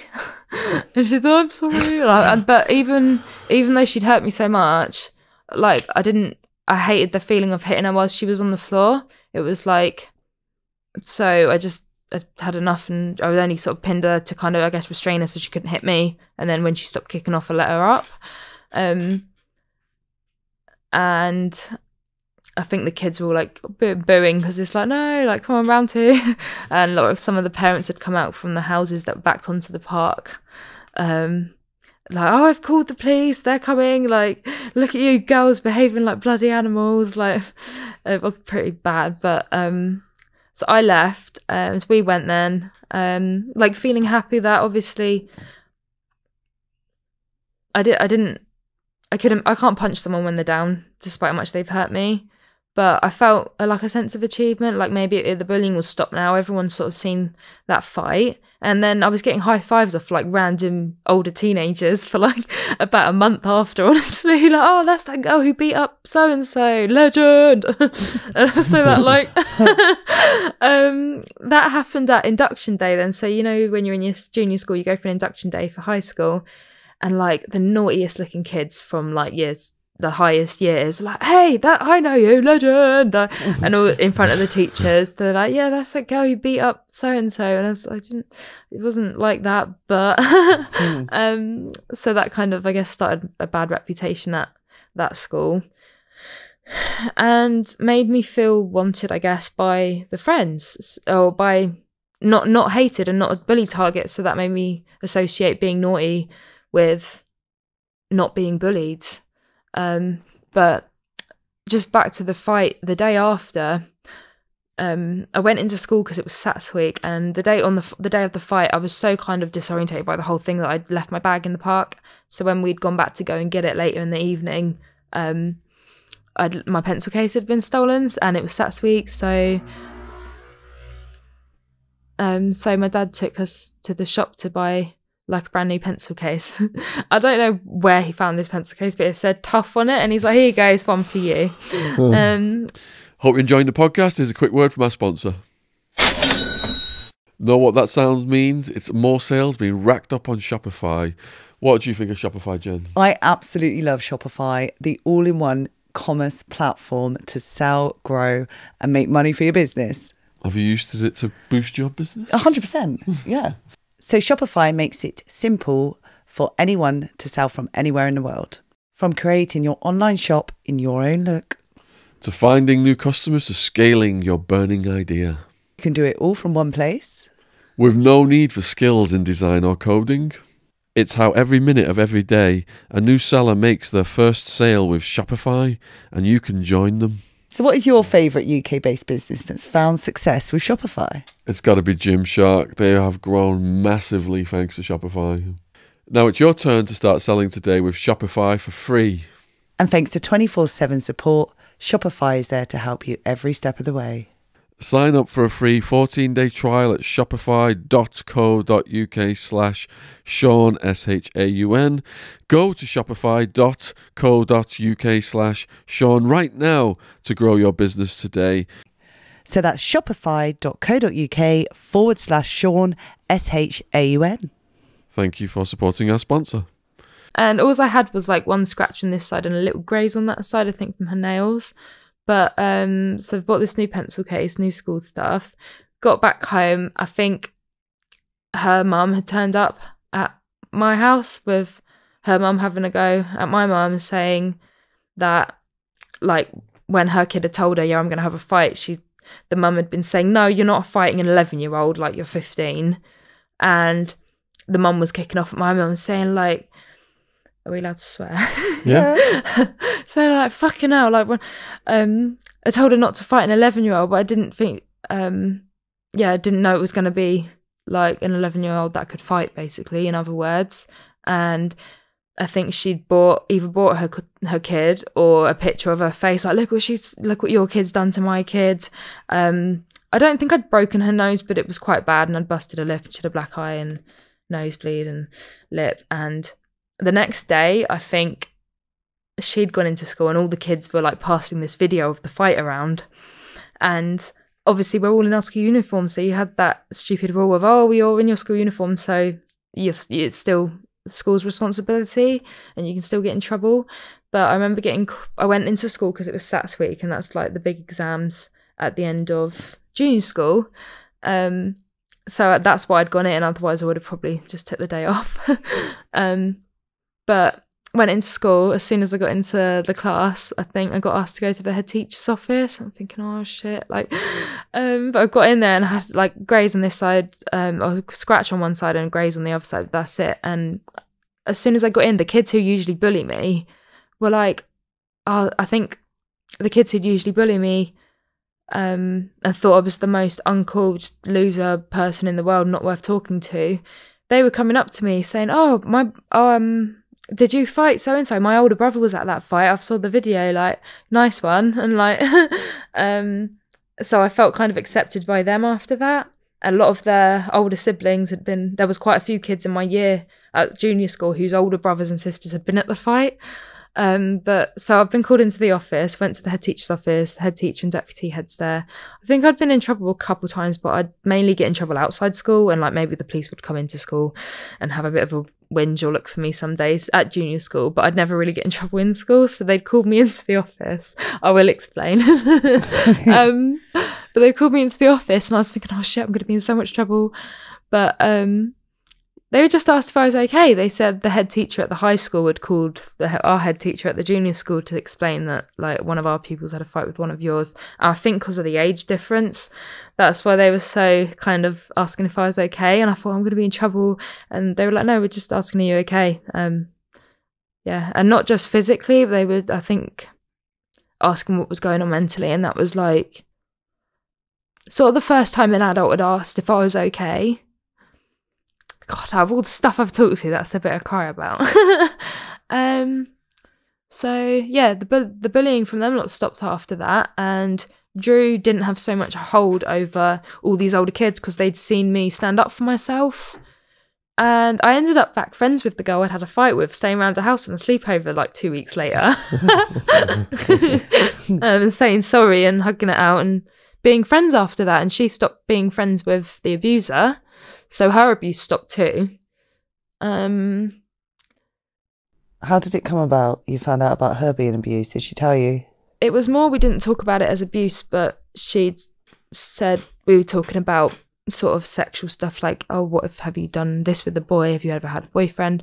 I think it was just me and her at some point, and she said that she'd done stuff with Drew, and I was like, oh, I have too, yeah. Um, and she's like, what? Uh, when I was, oh, it was ages ago, and she's like, well, how old? And I was like, well, he was about 13 and she's like gross you that means you would have been 8 or 9 then. That's disgusting. So then i thought like that's sort of the third time an adult or an older kid i've tried to tell and they've made kind of reacted in a way that's made me feel like i'm in the wrong. Um but it was more than she he he'd send her like videos of him sort of masturbating and then she'd show us like not in a I guess not in an abusive way, but just like, oh, look what he sent me, and then we, I'd just, like, kind of laugh about it, but not know how to react. Um, that affected me a lot. I think growing up, as getting older, and I think when I was at fifteen and sixteen years old, being at sort of parties with other kids that age, or sort of most people are just having sex for the first time and doing all that kind of stuff, and it's the big kind of exciting thing, I suppose, for that age. But when whenever someone would show me porn at that age, I just wouldn't know how to react. So I'd like, if I was with other people, it would be okay because I could wait and wait for their reaction and just copy it. But I really struggled. I remember this one time I was at a party and I was about 15 or 16, maybe 15. And one of the older guys had, had this picture. It was a porn picture of just guy with a massive, massive dick and um like I, I think it was fake i don't know but they were just show he was the person with the picture was showing everyone at the party just individually and getting their reactions um but i was one of the first i was the first girl to be shown it so i didn't i hadn't I didn't have any behaviours to copy of other girls because I wasn't sort of out as sort of bi or anything or curious in my sexuality then. So um, I looked at it and I was like, uh, look at the belly on it, like because he had a belly, and they're like, wait, that's what you see, and that's what you say at that picture. uh, it was like showing a naked picture and then saying, "Oh, look at the carpet." oh Um, man. but I, I think going when the abuse kind of stopped, there'd be lots of other incidences from random adults or random people where it wasn't like a full on nothing you could physically pin and say happened, but just stuff that that on its own isn't crossing a line, but when you put it all together, it is abuse. How did they come into your life? Um, one was a school teacher. It only happened once. um, and the other time was Uh, a- a, boxing coach, but not um the boxing club I went to when I'm older. Like, um, but not a coach. It was someone who was working on reception. But I was about eleven at this time, or twelve maybe. Um, wearing a full tracksuit, like nothing girly. So after the abuse, I start I stopped dressing any. I think when the abuse started, to be honest, about nine, I stopped wearing girl clothes. I would just wear a full tracksuit. Um, I'd strap my boobs up when I started growing boobs at like 12. I'd strap them up. I guess it's called binding. Yeah. Now I'd do that to just try and look like a boy. And I just scrape my hair back in a low ponytail with a hat on always. um, so to just never ever look sexually Attractive. attractive. Yeah. Um, no makeup ever. um, but I think we'd gone to boxing. We were getting in there for free, and like, the, yeah, the coach was chill. He'd like let us go use the gym for free and join in on some classes, but mainly just hang out at the boxing gym all day. So we did that for like a month. It was like my new thing that I was gonna do that week. um, so and after I'd quit judo, it was nice to have that kind of be in that kind of environment of like competitive and positive and just being fit and healthy and being um, working out and hanging out with other people with that interest. Um, so we'd go to the boxing club, but there was this one time it was the it was daytime and we'd gone to hang out. It was near Christmas. I remember we'd gone to bring the boxing coach a box of chocolates because that we'd all saved up together with a little pound each to say thank you for letting us use the gym for free. Um, but nothing's free, is it? but it wasn't from him that, and I wouldn't even call it abuse because it was only a couple. It's mainly passing comments, so I guess maybe harassment at the most. But this sounds really gross, and you'd never get away with this now, or they would never get away with this now. But when you book into this boxing club, in the office where the the man would sit, he was sort of in his sixties, just big old beer gut, and he'd he'd say hello to us. He didn't seem that shitty, but I, am dressed like a boy in full tracksuit, no makeup, nothing, and in the back of this tiny little office that he's sitting in as we're going to sort of just where people book in and it's me my twin and charlie because we i think this must have been just as the abuse had finished and we're still seeing him a little bit but only on his own. Um we've gone in and the guy sat in the ticket office he's like in his 60s who was a coach. Um there's like a poster on the wall of just a naked girl in like a Brazilian bikini thong with her boobs out. Um, just really nasty porn, or just really typical porn pose, and but nasty for a kid to see. And it was in, it was just behind him in the office, like you could see it really clearly from walking past. And my friend um, Charlie's like, "Her, look," and i'm just like, "Her," and then the boxing coach. I don't think he was a coach, but the ticket man in his sixties. Um, he just points at the picture, goes, "Oh." Sorry, it out. The guy's in his sixties and sitting in the office. Um, he just points at the picture and goes, "Oh, need to look good in a picture like that." And I was just like, I didn't know how to react, but I just felt really gross because it's just the fact that he was looking at me and thinking like that about me like that, and I was eleven or twelve fucking pervert. Yeah. Um, but I think we'd also, at that age, we had older male friends that would buy us alcohol and then we'd hang out with them. Can we go back to the school Sorry. teacher? Sorry. Yes, that happened. Um, it's only like a one off. Um, I actually bumped into somebody recently who was in my class when this happened, and he said he remembered it as well. Um, so it's, I know when you remember things, it can get muddled up and you always remember the good better than it was, and sometimes the, like it gets mixed up. But I was year seven, gone to high school, and I suppose not so much being annoyed. I had started being like misbehaving at school, but um, one of the things they were really tight on at school was the uniform, having to have your top button done up. But I think because of everything I'd been through, I just felt claustrophobic as fuck with anything like that on my chest. So what I'd do is I'd get I would wear like a I don't know 28 inch collared shirt. I'd buy like a 50 inch men's shirt, cut the collar off, and sew it to like a 28 inch shirt. So I'd do the top button up, but it would still be like way down here.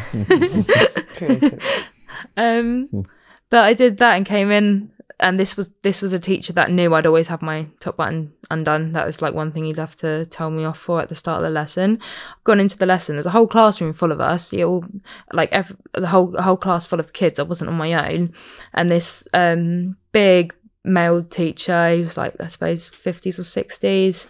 Good, like six foot two, quite a big bloke. Um, like when I'm like twelve, and he asked me to do my top button up. I'm like, oh no, look, sir, it is. And um, he's like, oh, that collar looks ridiculous. I could get my whole hand down there and stuck his hand down my top. And I was pushing his hand away, but his hand was so big it covered both of my boobs. um, like he didn't do any grabbing action, but he physically touched down there. Um, and both of my hands wouldn't even go around his wrist trying to push him away. Like that's sort of how big he was and how young I was. Um, but then he pushed it away. Um, he obviously let go after only a few seconds, but everyone was just like, "Oh my god!" Like the kids couldn't believe that just happened. And did obviously, it, did it get reported? No. Um, everyone was just kind of weirded out, and then I think when I just started laughing, like scream laughing, to just kind of lighten the mood and not feel awkward. And I guess I'd learned that that was normal. So yeah, no no kids reported it, but I bumped into at least one person who was in that class, and I said to him, I only started telling it, I telling the story, and I said, "Oh my god, do you remember?" Do you remember that time with my collar was really big? And he goes, "Oh, and the teacher did this, like this," and just said it word for word almost. Um, and I don't think that's even in my like my book. So there's no way that the kid could have known that unless apart from like that obviously did happen. Stuck in his memory. You, you, you were about to say that um, some older All the kids were people. buying you booze. Yeah, so um after the abuse finished and we sort of started high school, obviously the Ritalin had had to stop and I was still trying to lose weight for judo um until we quit that and then I, I still I still couldn't bring myself to allow myself to eat anytime I was hungry, but I was trying to starve myself to lose weight but then I just couldn't stick to it. So I was still looking for another drug or just something to stop me being hungry. So I tried weed a couple times. This is at um, still 11, moving on to 12 years old, and I started drinking, but it's quite hard to get alcohol at that age, I guess, um, without having older friends. So um, I think I'd get served in one shop for a while. I just like put socks in my bra to pretend I had boobs and makeup on and pretend to be having like adult conversations on the phone. Like, gotta go, babe. The kids are in the car. Like, yeah, got, I'm on my lunch break. Like, just like adult sentences um, to get served. But that would stop fairly quickly. Like, they click on to that to the fact that we were all kids. So we'd hang out with some older friends, and it would usually be like someone that's like a known pervert or like a known rapist. Um, but they'd buy us alcohol and we'd sit with them. Um, and I just wanted to say, like, not every adult that we'd hang out with was like that. I think we had one adult friend that it sounds really weird on the surface, like a 50 odd year old man hanging out with sort of 13 year old girls. But he'd never ever try it on with us. This one, he just and he's um, I think he had special needs, learning difficulties. So I think mentally he's like a, like a young teenager. So it was like we were around the same age um, emotionally, and I think he'd talk about his relationship problems with his missus, and he'd talk about like sex, but not in a way that included us. It wasn't about us or advanced to us. It was just about him and his girlfriend in a way of like almost asking for advice, like just how you'd ask friends your own age. Oh, what should I do? I want to do this, but they, um, what? Yeah, just sort of asking us for advice. And but my mum and dad found out that we were hanging out with this person. My dad went mental, and my twin at one point had gone off to the woods with this adult friend who's in his fifties, and she we were thirteen at the time and they sent a police helicopter out looking for him because my dad had obviously called the police like yeah they've gone off no one's heard from her for a couple hours um, but my sister says she walked out the woods and um, walked out the woods with our older friend and there was about five police cars the helicopter had been circling but um, i think she just took a big breath and or he took a big breath and she's like it's all right like you won't be in trouble like you've not done anything wrong. I'll tell them we were just talking. Um, but I think mum and dad obviously had a go at us because it was like, oh, how can you be so stupid? What do you expect's going to happen? Um, I hated how at that age you're always told, or what I thought we were always told, oh, boys only want one thing, and it's like you're told it as if it's this big secret, or as if you're too stupid to know what it is. And after it already happened, I felt like, well, I know what they want. It's already happened. Like it's almost. I d- don't know. Um, kind of like lost what I was trying to say. no problem. So you were hanging around with. There was one nice yeah. fifty odd. Uh, let's talk about the other ones. Um, I mean, were they around the same sort of age? um, These older men. Um, I say that most of them were fairly young. I say thirties, mid thirties, And they're hanging around with 13 year old girls, buying them booze, inviting them back to their house to sit with them. Yeah, so we'd never go back to the older one's house, um, but we'd go and there was like a secret garden in a graveyard um, that we'd all go and drink at. Um, but the, I suppose the known rapist, that wasn't till I was 15 with a friend. but um, I'm gonna try and do this in order. But um, yeah, he'd buy us alcohol, and we'd always hang out in twos because we knew that he'd been done for rape. And it's so stupid looking back now because um, the states we'd get in around him, but I think I was so depressed at the time, and my friend was as well, um, that you just don't care because it's just like, well, they're gonna, you know, people are gonna do it anyway. So almost letting them, or just not caring because you're that de- depressed that you're just out of your body. So it's, it's just a body. Doesn't matter if I get beaten or raped. Like it's not my. I'm. I'm just my. I'm. I'm somewhere else. Can we talk about the it. first time he did rape you? So this friend didn't rape me, but he raped my friend, who was also female, my age. Um, this rapist who'd buy us alcohol, and some of our other friends were still hanging out with him after this happened, and they knew. But I think when you do get raped, the only thing that's in your control is whether you go to the police or not. So I always respected her decision not to tell, even though it was hard. And I think she called me after it just happened, and like she still obviously had his DNA evidence all over her. Um, I went to, I think I went to get morning after pill with her the next day, but didn't without telling, or I might have even lied and said it was for me, and then gummed it and taken it for her because they would have checked her out and they would have known. But it's so important to still have that choice and have it not taken away from you um, after going through an assault or sexual abuse. Um, I think mine was taken out of my hands, my choice, the first time.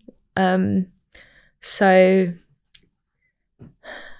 So yeah, let's go back to when you were thirteen. Okay, so I say it's twelve to thirteen. Um, thirteen started started hanging out with older friends that could buy us alcohol, and most of the time they just want to like they just want a kiss or not at all. They just want company, I guess, to hang around with them, and wouldn't try it on until we were super drunk. But often we'd leave before that point, and we'd sort of just use them to get the alcohol and then go or hang out with them for like an hour and then go. Um, trying not to be too drunk around them because I was still very aware of why they were there. It wasn't even at sort of 12, 13, I, it, I always knew that nothing's really free and that that's, it felt like that's all most men, if not all, want. Um, there was one incident when I was 12 where we, we used to stand outside the shop asking people to go in and buy us alcohol. Um, and this this sort of man in his sixties looked quite rough. He looked like an alcoholic, um, without being judgmental and trying to say what what an alcoholic looks like. But He was just sort of a typical.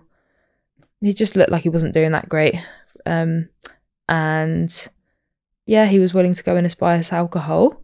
So we gave him some money, and I think we used to save up our lunch money at school, so we'd get two pound a day for school dinners. Um, so that's ten pounds a week. So we'd all save, we'd all save it and just skip lunch at school, and then everyone would chip in at the weekend and have enough money to buy alcohol. Um, so usually it would take ages, like at least an hour or so, to get someone that was willing to go in for us, and occasionally um we'd ask someone that happened to be like police off duty and stuff. So um had to get good at running.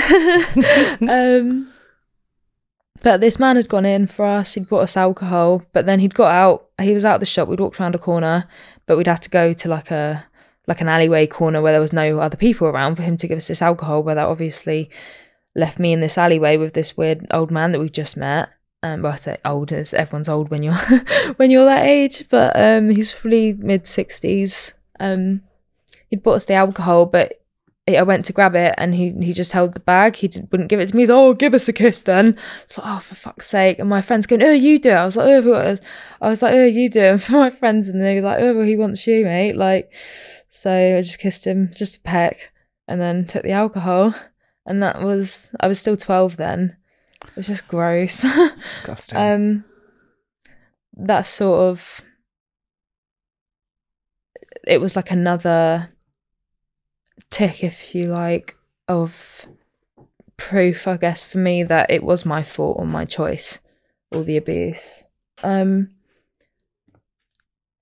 i had some fun times though because of all the shit that happened to us when we were kids like it made me naughty, and being naughty was fun. Like we'd go and have awesome days out. We'd like stay out all night and like sneak out and be on the run from the police and keep them on like four hour foot chases and sleep out in a field and just wake up or like lying under the stars under a summer sky with your friends and everyone had equally fucked up lives and equally dysfunctional families and mental health undiagnosed and often abuse that um, we'd only sort of started talking about with each other at about 14 15 but um, so I'd drink sort of whenever I could get it, but it wouldn't be that often at sort of 12, 13.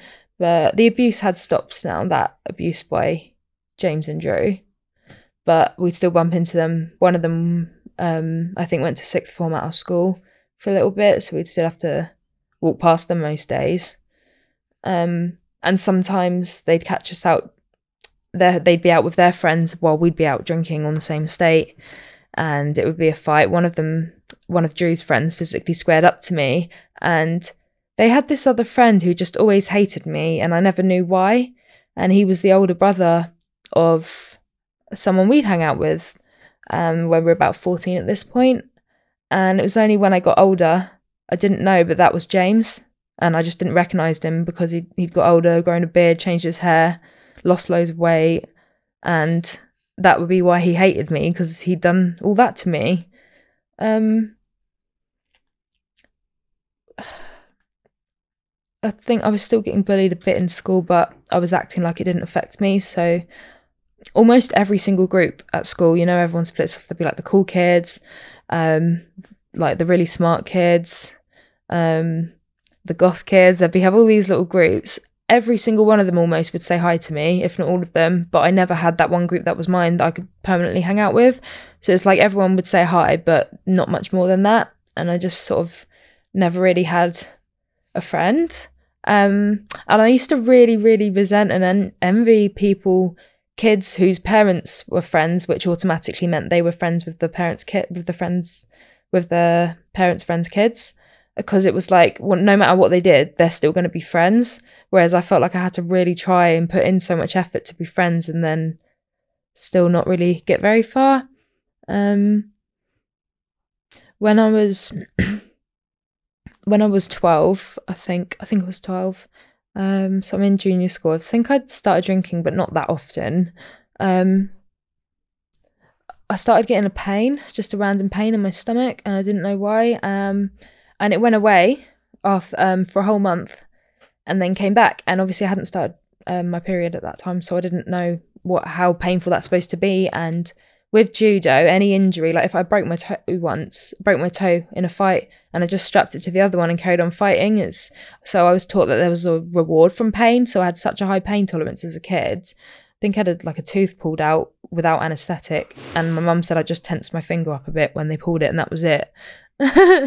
um, so I I had a really high pain tolerance, so I just dealt with this pain, and it hurt when I used my ab muscles. So like even I think I was on a swing, and I noticed it hurting when I got high, so I just let the swing slow down and just sat with my stomach, and I didn't know what period pain felt like, so I think it was probably period pains, but obviously nothing.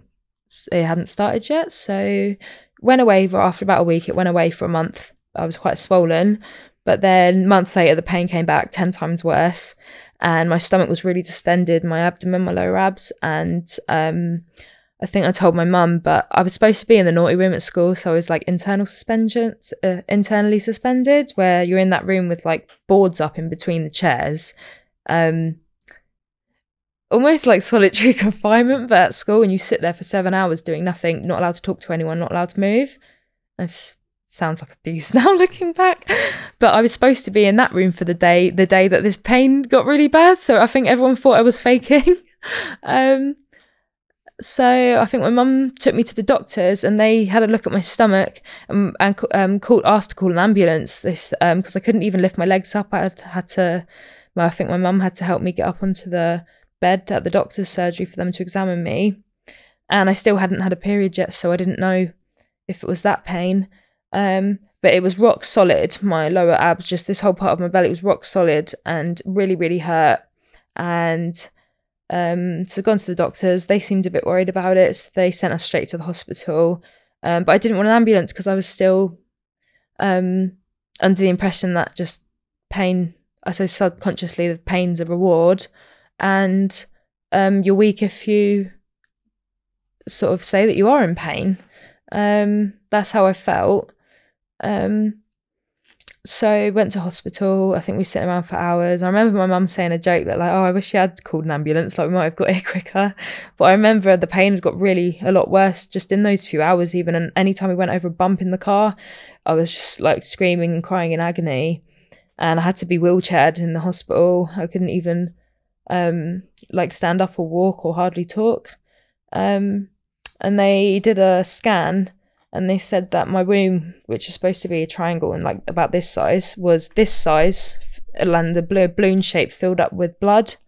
Um, where I thought I was worried that because I was still like 12 or 13, I thought, well, all sex makes a baby. Maybe when I was raped, maybe I did get pregnant and the drugs killed it, but didn't get rid of the miscarriage. So I thought that maybe this dead child's been inside me and is trying to come out now, and everyone's going to find out that I'm a disgusting kid and have done all this. So that's probably why I pushed up hospital for so long. But they did this scan, and it was the scan they used on a pregnancy, the ultrasound with the gel, and um, the nurse woman when we went in there to do the scan, she um, she just pulled my without warning, she'd like, okay, so I need you to lift your top up, but and then without warning, just pulled my trousers and underwear down. I was like, woo, um, like, and it just reminded me. I had it was my first flashback that I remember having, my first post traumatic stress disorder flashback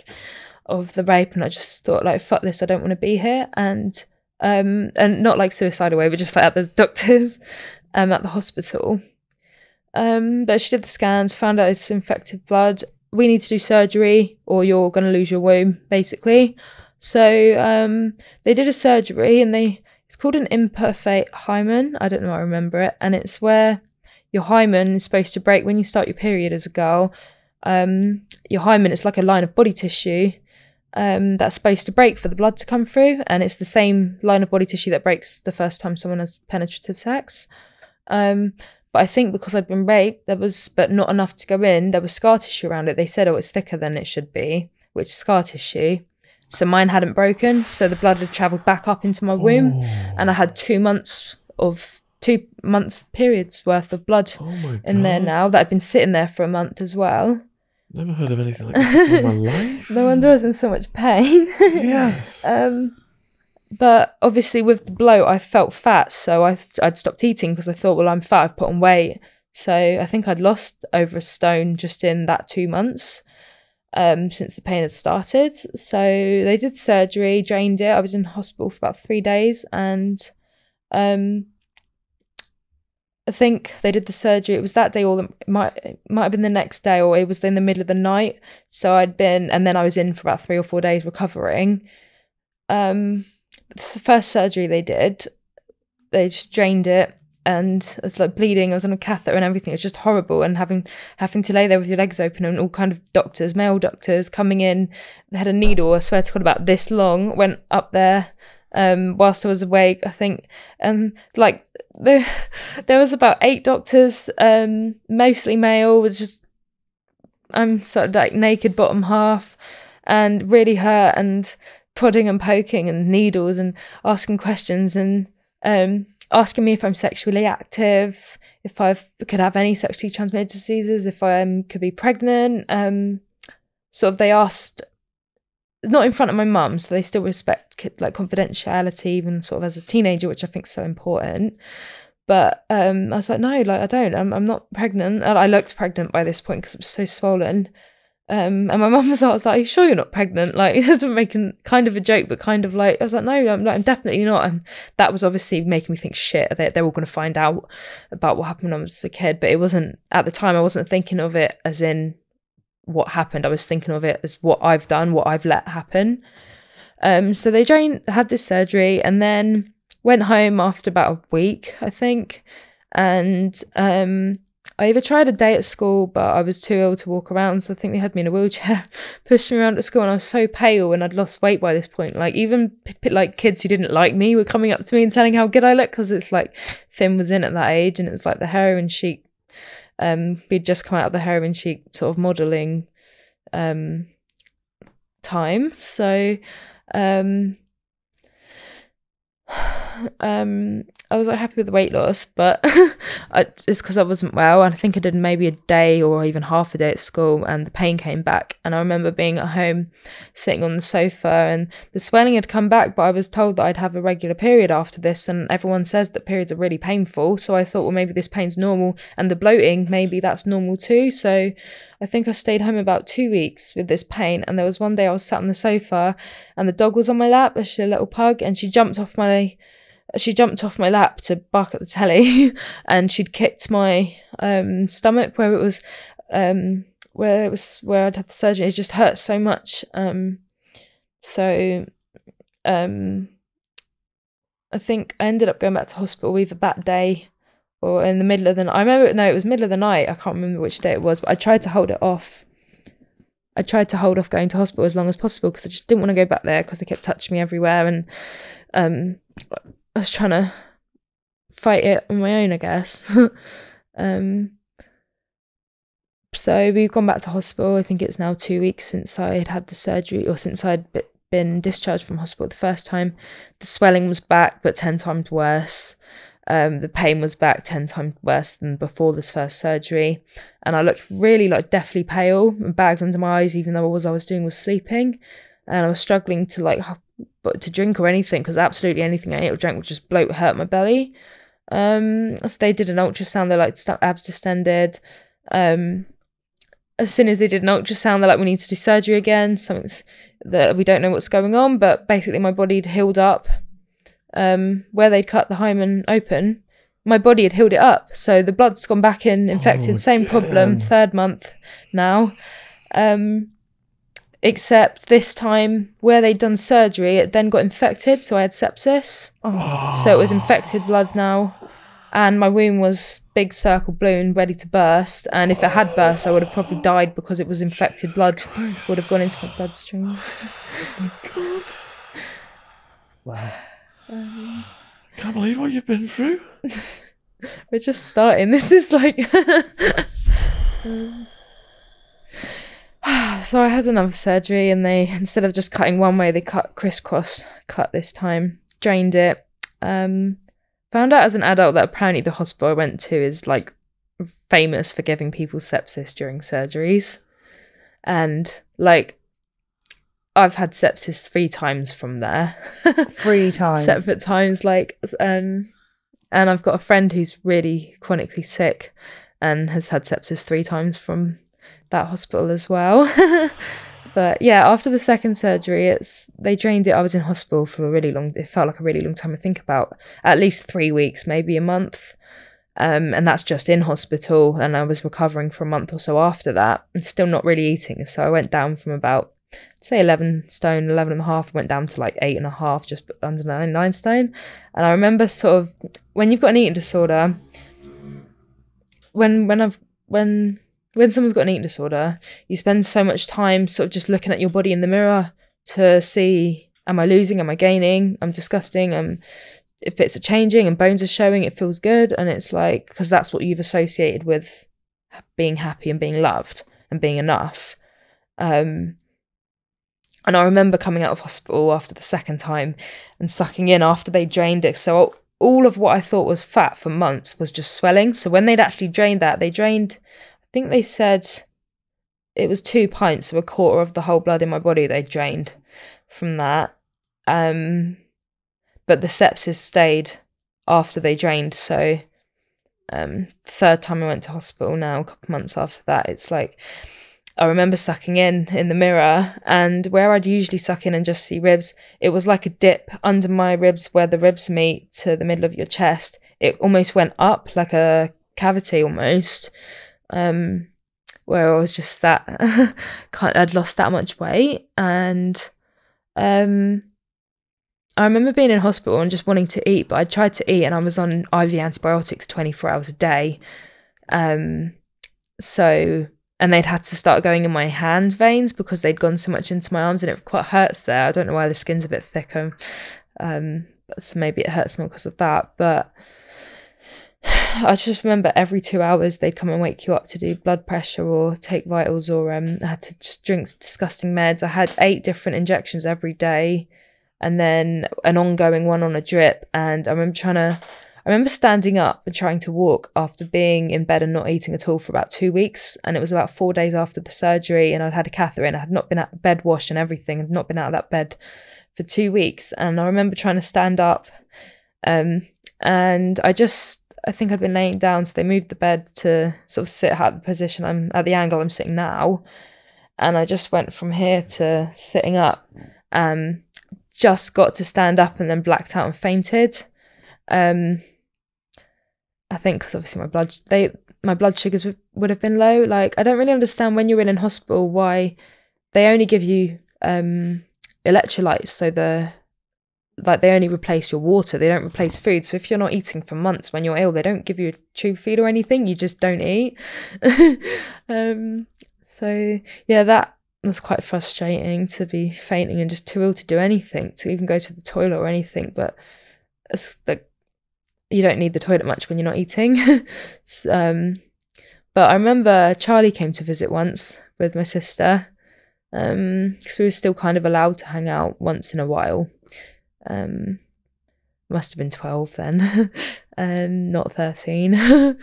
but um, I think him and my sister got a bit hyper, and obviously they have kids, they're full of energy, and I wasn't because I was ill. And I remember laying down in this bed and they'd started throwing like crisps or chicken nuggets at me. Like, which obviously it's funny for like two minutes and then it's like I, I couldn't even shout or like fight back. Um, because I only like play fighting, but I was too ill to even hold my arm up to like barely call the nurse's button. But so I couldn't even, I didn't want to get them in trouble either. It was like, come on, guys. Like, so I just started crying. Like, I couldn't, I, I couldn't even shout. I couldn't even talk. I was like whispering because I was just so weak. And I remember the nurse came and she kicked them out, like, no, you've upset Nita, you need to go now. um, but my sister got time off school, I think, to come and see me. She'd sneak off school and come and see me all day in the hospital. And I remember, like, even on the first day, I think this is just a lack of like self love or self worth. But even on the first day I was in there, and it's scary being away from home when you're that young. Um, I remember wanting most people wanted their mum with them all day. And I remember saying to mum, like, no, like, it's okay. I know you've got other stuff to do. And I remember thinking, especially like the first night where I was sort of with it enough to to feel scared of sort of being on my own and that. Um, especially when there was hardly anyone else on the ward. If there was like loads of empty beds and it's just a dark, scary hospital. I remember thinking, like, no, my mum's got four other kids to look after and it's not all about me and it's I don't want to take up everyone's time. And obviously, my dad would have been working all day, but they all came up to see me. At least someone someone would come up at least every day. Um, and when I when I got my strength back a bit well enough to walk, I'd I'd like I think I got my friends to sneak, sneak me some cigarettes in, and I'd walk. I remember walking with my drip um and like climbing on the kitchen counter because there was like a little kitchen area in the teens ward, and I remember climbing up on the counter and smoking out the window.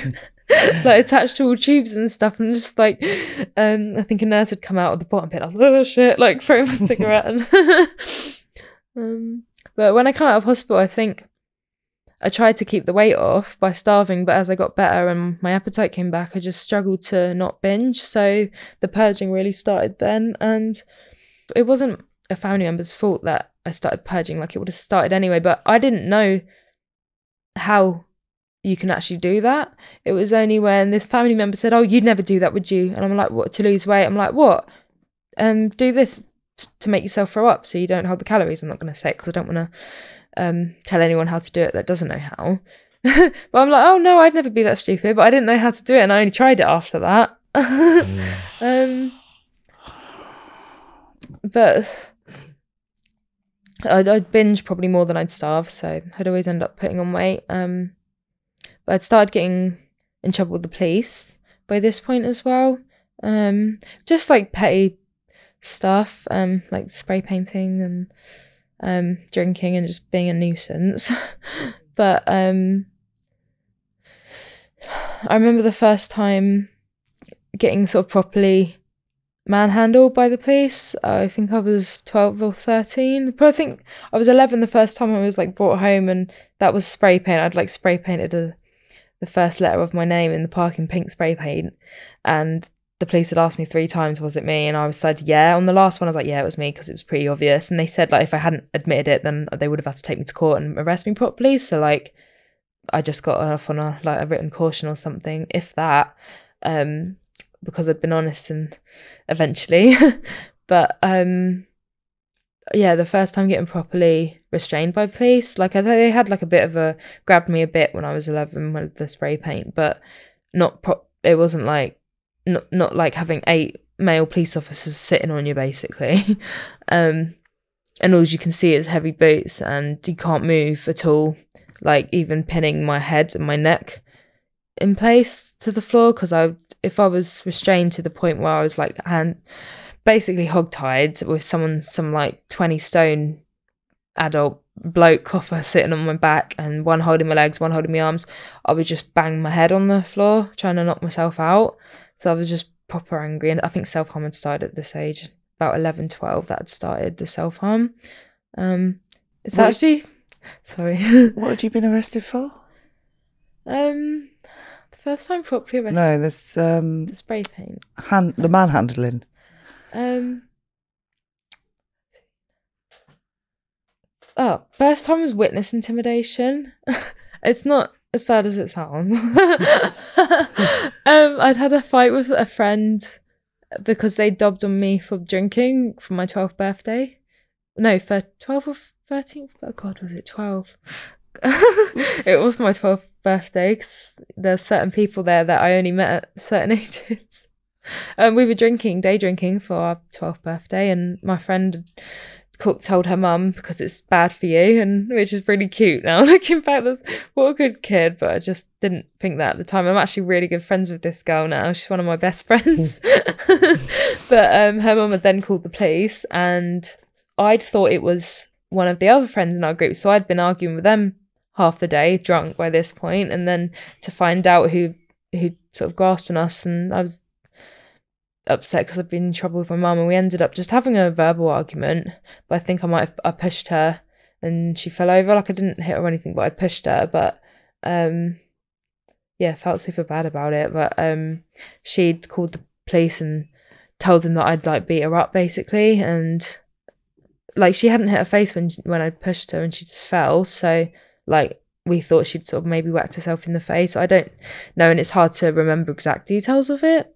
But um yeah, she called the police and they'd arrest they um were looking into they'd cautioned me for assault, so they'd questioned me but hadn't arrested me. It was more one of those you need to come into the station for a voluntary chat, but if it's voluntary, but if you don't, then you get arrested.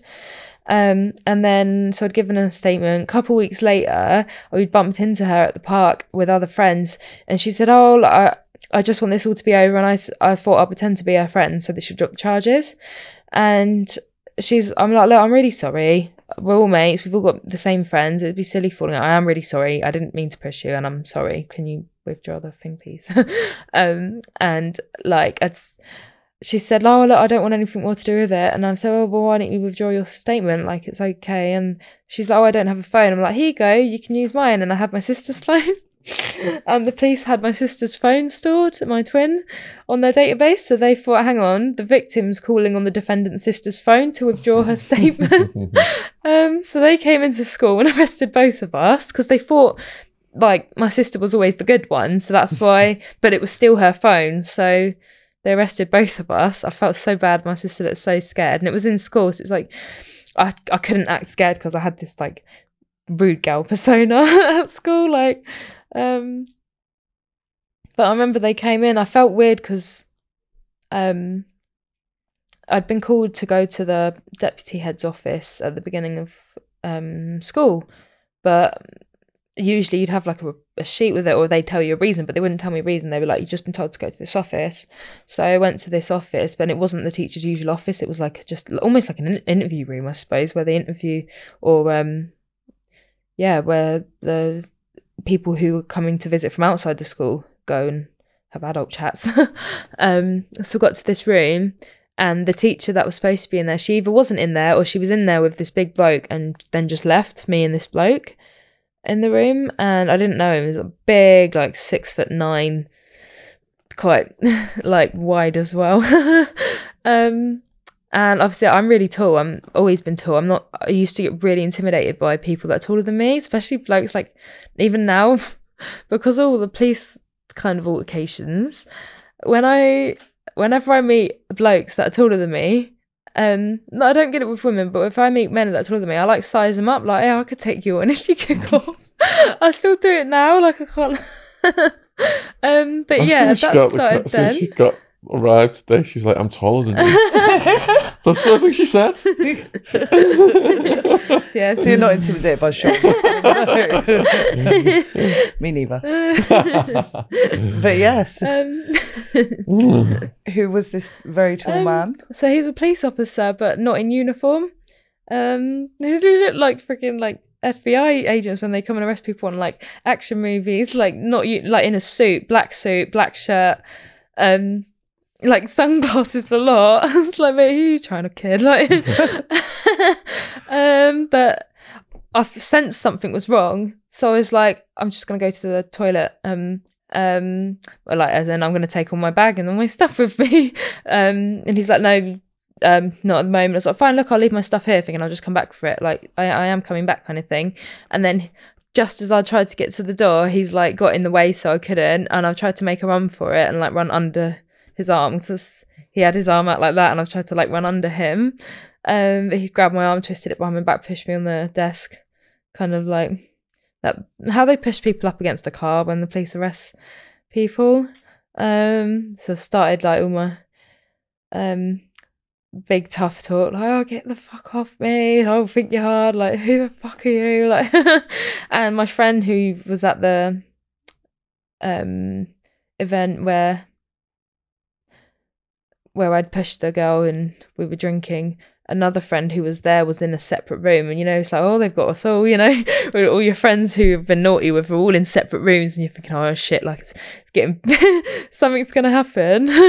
Yeah that was happening and that had happened and my twin was in another room and um so this bag the guy he's handcuffed me and then obviously told me that he's police by that point walked me out to a car and then separately i see my twin being walked with this police officer who was like the community officer who'd always come into the schools and give the talks and i'd never seen him actually do like do arresting uh, do police work. It was always just him coming in to chat and for kids to ask questions and that. Um but he'd arrested my sister um she wasn't handcuffed but she was crying and she looked really like scared and nervous. So i was about to cry but i was like shook it off to look um to look brave and strong for her so that she didn't get upset. And i remember shouting across the car park that's all right don't worry. Um like don't worry they've got nothing on us. Like i ain't done nothing. Um and it was the same it was like the first time getting properly booked into custody and um yeah, I think they booked us in. We were still obviously away from each other. Like, nope, you're not allowed to talk to her. But she was crying. I was like, don't fucking make my sister cry. um, and then I told them, yeah, I was like, look, my sister hasn't done anything. I've done it all. And I was like, don't worry, babe, we'll be home soon. like, mum will pick us up and we'll go and have dinner and watch Simpsons. Like, just trying to talk about normal day stuff to take her mind out of it. So, um, I think they didn't make her wait in the cell for too long but I was kicking off, so they made me wait in one because I think it was like kicking off to show her, look, see, like they can't even make me stand in one spot, so how are they gonna hurt you? um, it's when they have those red buzzers though in the police station, they're like on the wall, and as soon as you kick off, they're like, man, man, and like oh, like every, never seen so many people run so fast, like coming out of every like wall is like doors you thought were a cupboard were actually a room, and there's just loads of them coming from everywhere. um, I nearly escaped from custody once. Oh wow.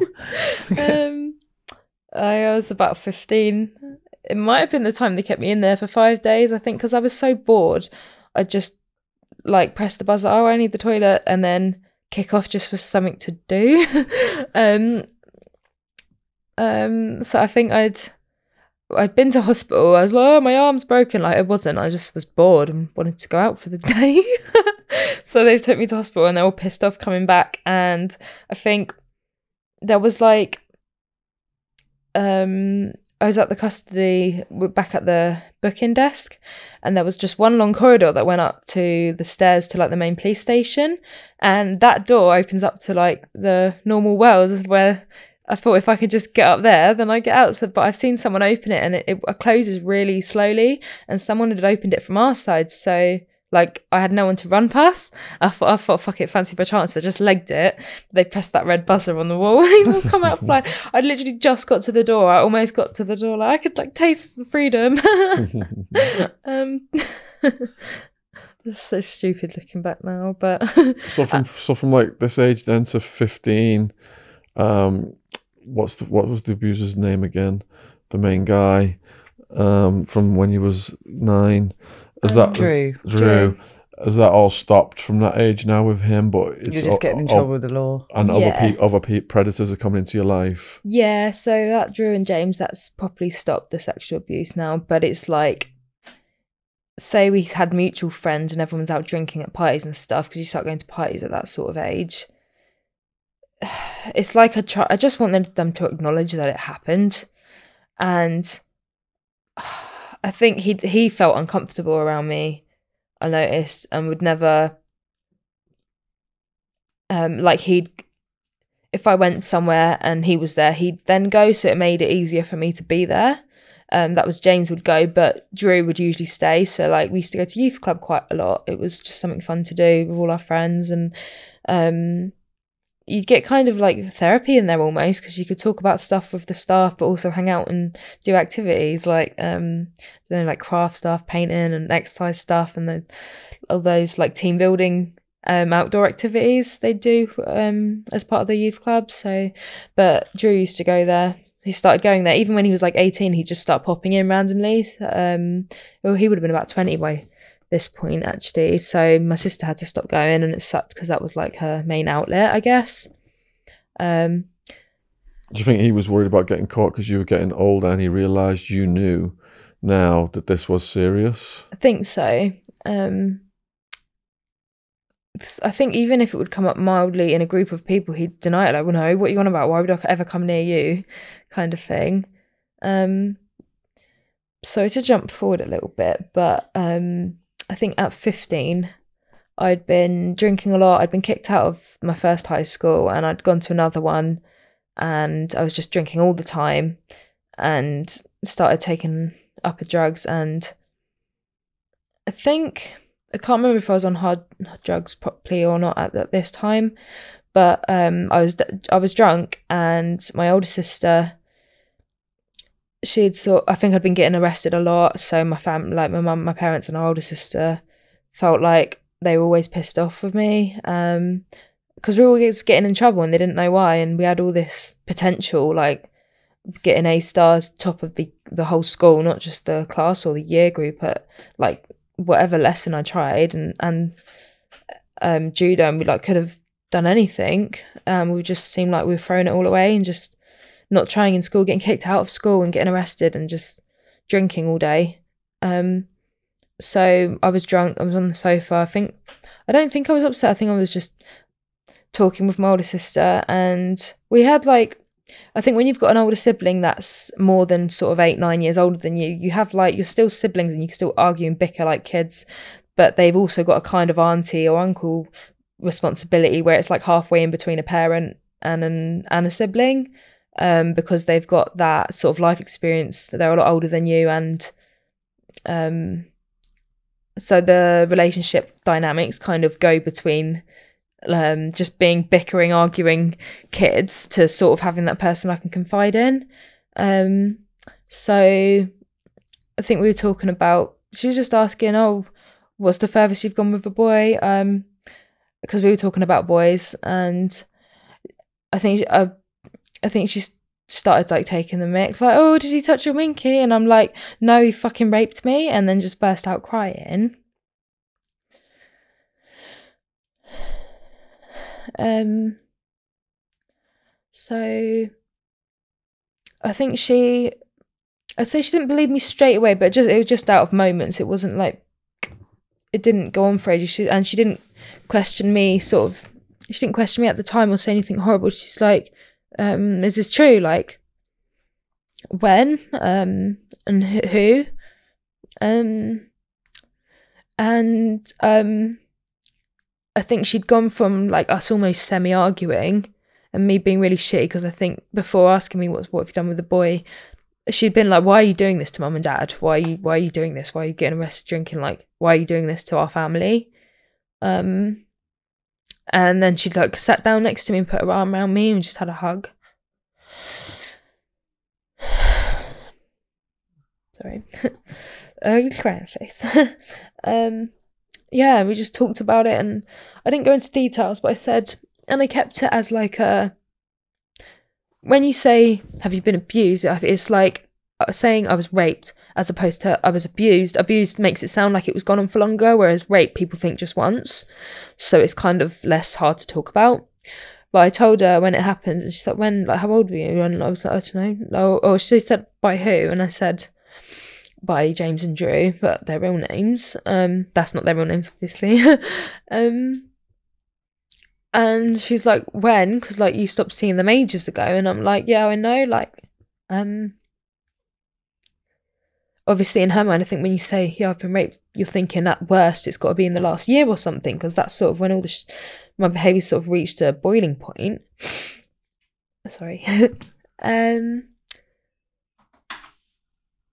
but then I told her it was from sort of yeah nine ten, and she's like this this explains so much, and she's I think she's like either she asked you either she asked or was like right, do you want me to tell mum and dad or do you want to? Well, we need to tell someone.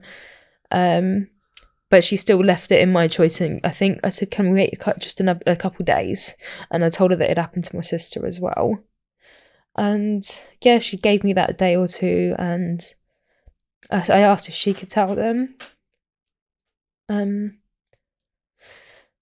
so she did, and I think, I think we waited till they were in person. I think she told them first, and then so they'd know what the conversation was going to be about. And then, yeah, I had a chat with mum and dad, and I think they just gave me a hug and said like, "It's going to be okay," and like this explains everything. And I'm like, well, how? Like how? how does this i'm still a horrible person and i'm ruining this family through my behavior that i don't i'm just doing because i hate myself but it's making everyone else suffer as well. Um and you don't know why you're feeling shit you just know that you feel shit all the time. And sort of drinking and drugs are the only way to escape that. And if i could do that in a way without hurting my family i would have but um yeah, I told mum and dad, and then started um, going forward with legal, um, the legal route of fixing that. But that sort of starts the next set of issues because I wasn't ready to go to the police and I didn't want to, and I felt like because I told my parents, I took that out of my sister's hands. I didn't. I think because it came out while I was drunk, I didn't think about it, and I wouldn't have said. I'm glad it. I'm glad it came out at all because it might not have ever come out. But my sister was never in that loop. It was never her choice to say, and just as much shit happened to her. Um, and we all had a cry and a chat, and um, yeah, went through the place. I think it brought us closer, but it was like even though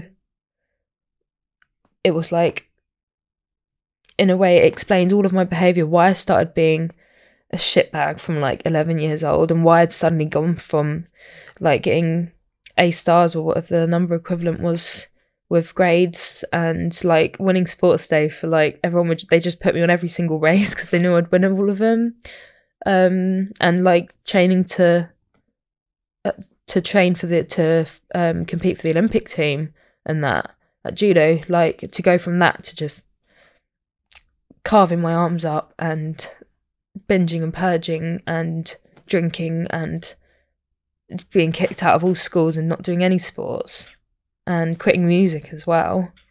I think my parents thought that, okay, now we know why we've got to the bottom of it. Like, now you can start being normal. They never said it like that, or now you can start being happy again.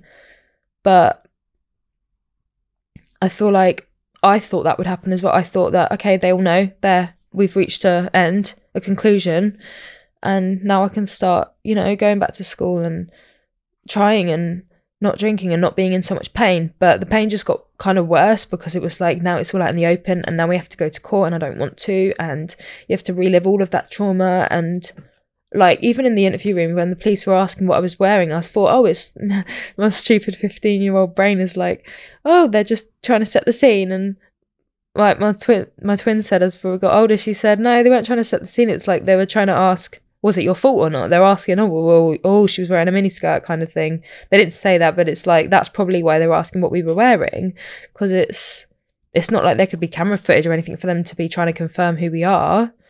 Um, and I was like, no, I was, um, and where was it? Were you drinking? Were you at a party? It's like, no, it happened in the daytime at a park as a kid wearing a tracksuit or equivalent. Like, so. Imagine the fact that your sister was there selling the same thing the the uh, stories coincided. Yeah, so they couldn't. Yeah, that Yeah. would that would verify it. Um, I think it put my parents through so much pain that um,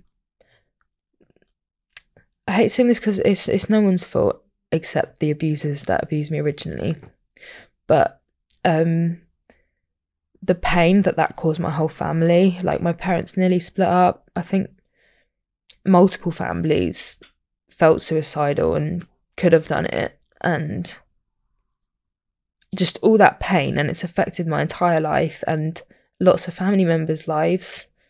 Um to the point where like I might be dying now from a physical illness caused or triggered by stress from all the shit that I've been through. Um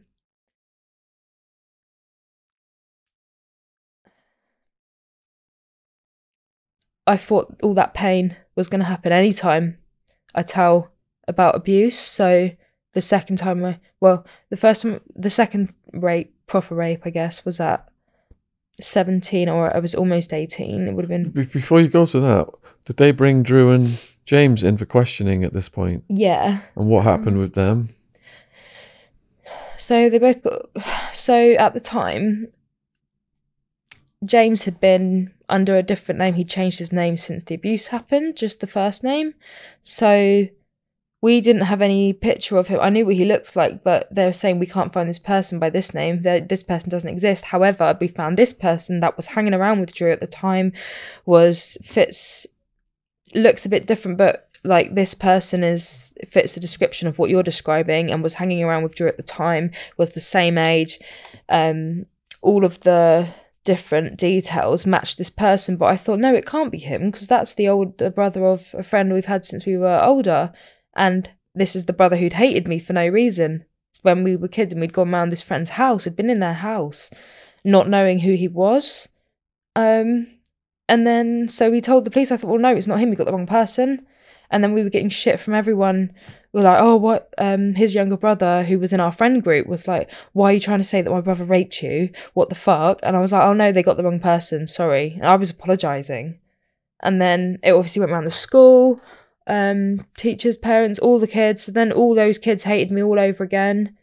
And then a couple years, so I, I withdrew the J- James's part, and I said like, I don't think it was him. We think you got the wrong person.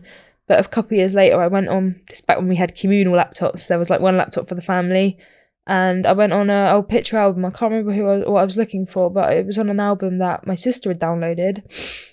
I think it was a Facebook album, and I saw this picture, and it was a picture of James as a kid, as we knew him, maybe a year or two older at the max. And I thought, oh fuck, that's him. And um, I asked my sister about it, and she'd gone on Facebook and been scrolling through because I thought the police had found him. The police are convinced it's him, but it can't be. But scrolled through his picture, looking for the oldest, oldest picture, because the way they could have figured out if it was him or not was him giving a pitch, giving us a photo of when he was that age. But he wouldn't. He refused, and his whole family refused, and wouldn't even let the police come in. So it's like they all bloody knew. Um, but as soon as I scrolled through to the oldest picture, I found this picture. It's a picture of him sort of standing at a lake fishing, um, with his shirt off and um short hair, and it was just that's him. That's how I remembered him. and I was like, fuck, I thought, fuck, like the police had him. They could have, something could have been done.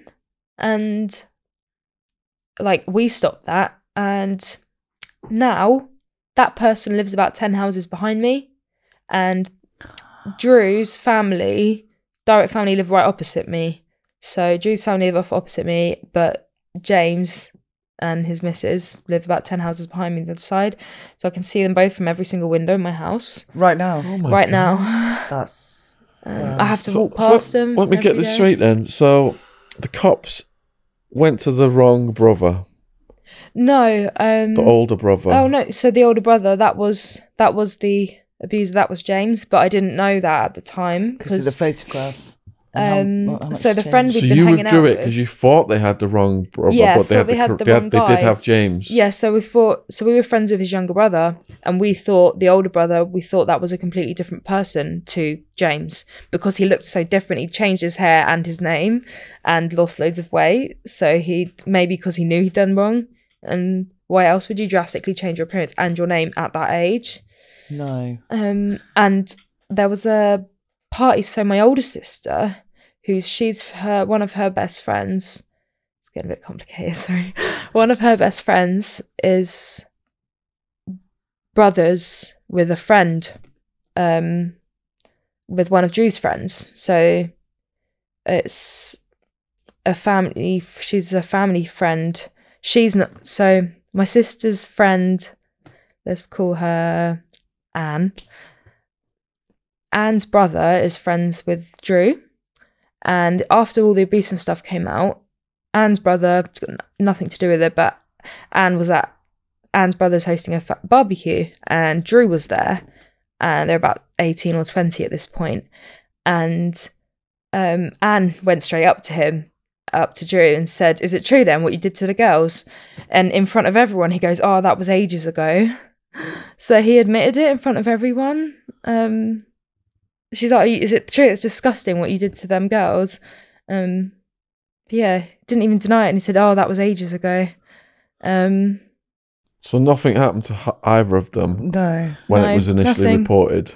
No, they got arrested, but there wasn't enough evidence. Obviously, they both Charges got denied dropped. it. It was just your word against their word. So we without only dropped the charges against James, not Drew, because we were convinced he had the wrong person. But a few years later, I went back and told them after I'd written my book and said, "Yeah, I think it was him." But I just didn't want to put my family through that again. I was at quite a good place in life. I was working and driving, and had a fiance. I didn't didn't want to mess it all up by putting my head in that space again. So did anything happen to Drew if the charges were not dropped against Nothing. him? Not enough So it was like a no further action But thing. the police, like they all knew it was. They said, and they said they knew something had gone on with us, and they had suspected it with him specifically. They'd suspected it for years, and because we went forward, about the about four of those six girls that we knew went forward to the police, and then after that, it was like they found out there was, I think, about twenty girls altogether God. Wow. from eight years old, seven from seven to thirteen had been abused by these two.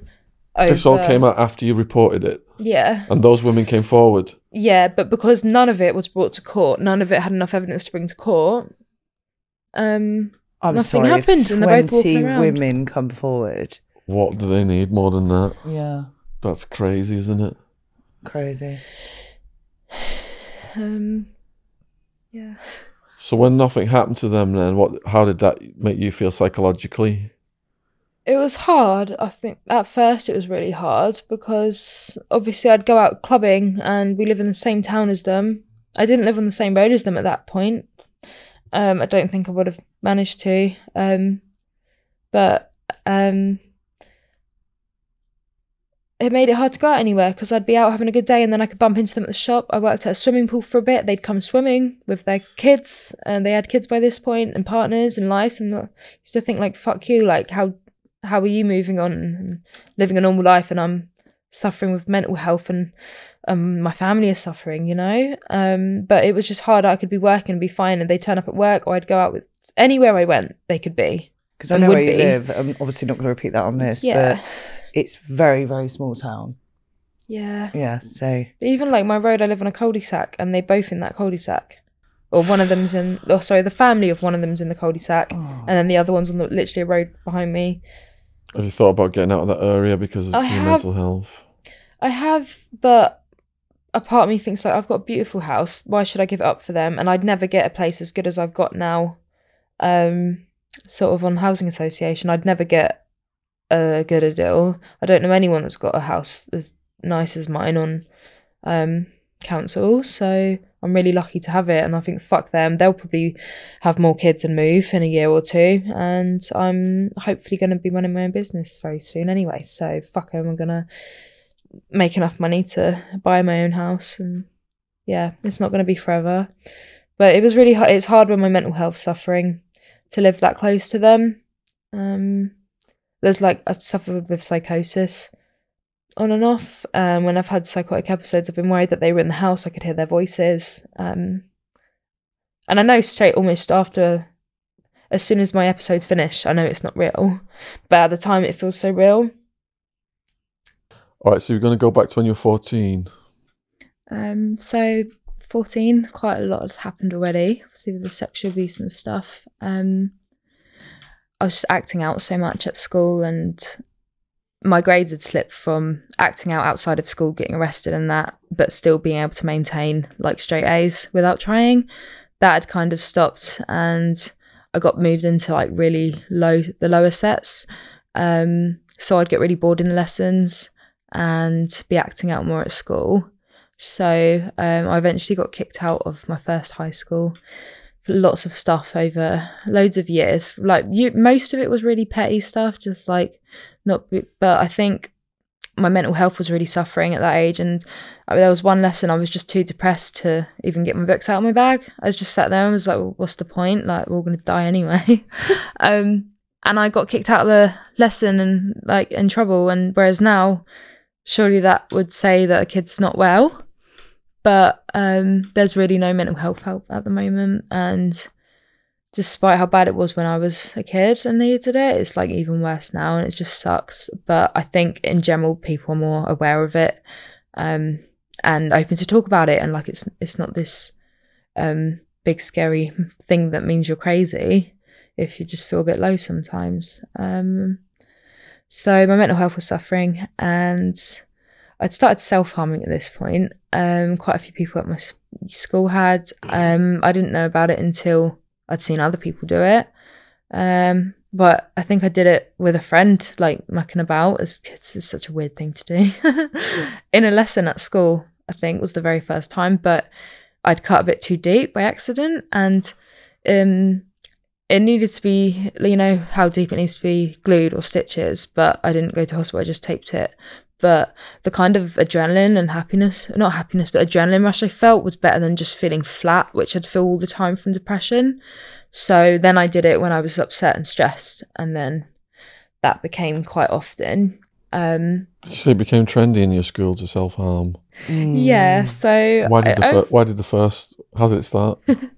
Um, i was going to skip this bit but um so the first time ugh, it's such a weird story, and I don't think there's anyone else in the world who would have started self harming in this way. But basically, one year, our whole year group turned emo and started self harming to be like, oh, you can be in our little club, but you have to do a little cut. And everyone would just do one, and then they'd go on with their lives and not have mental health. Most of the kids that did that.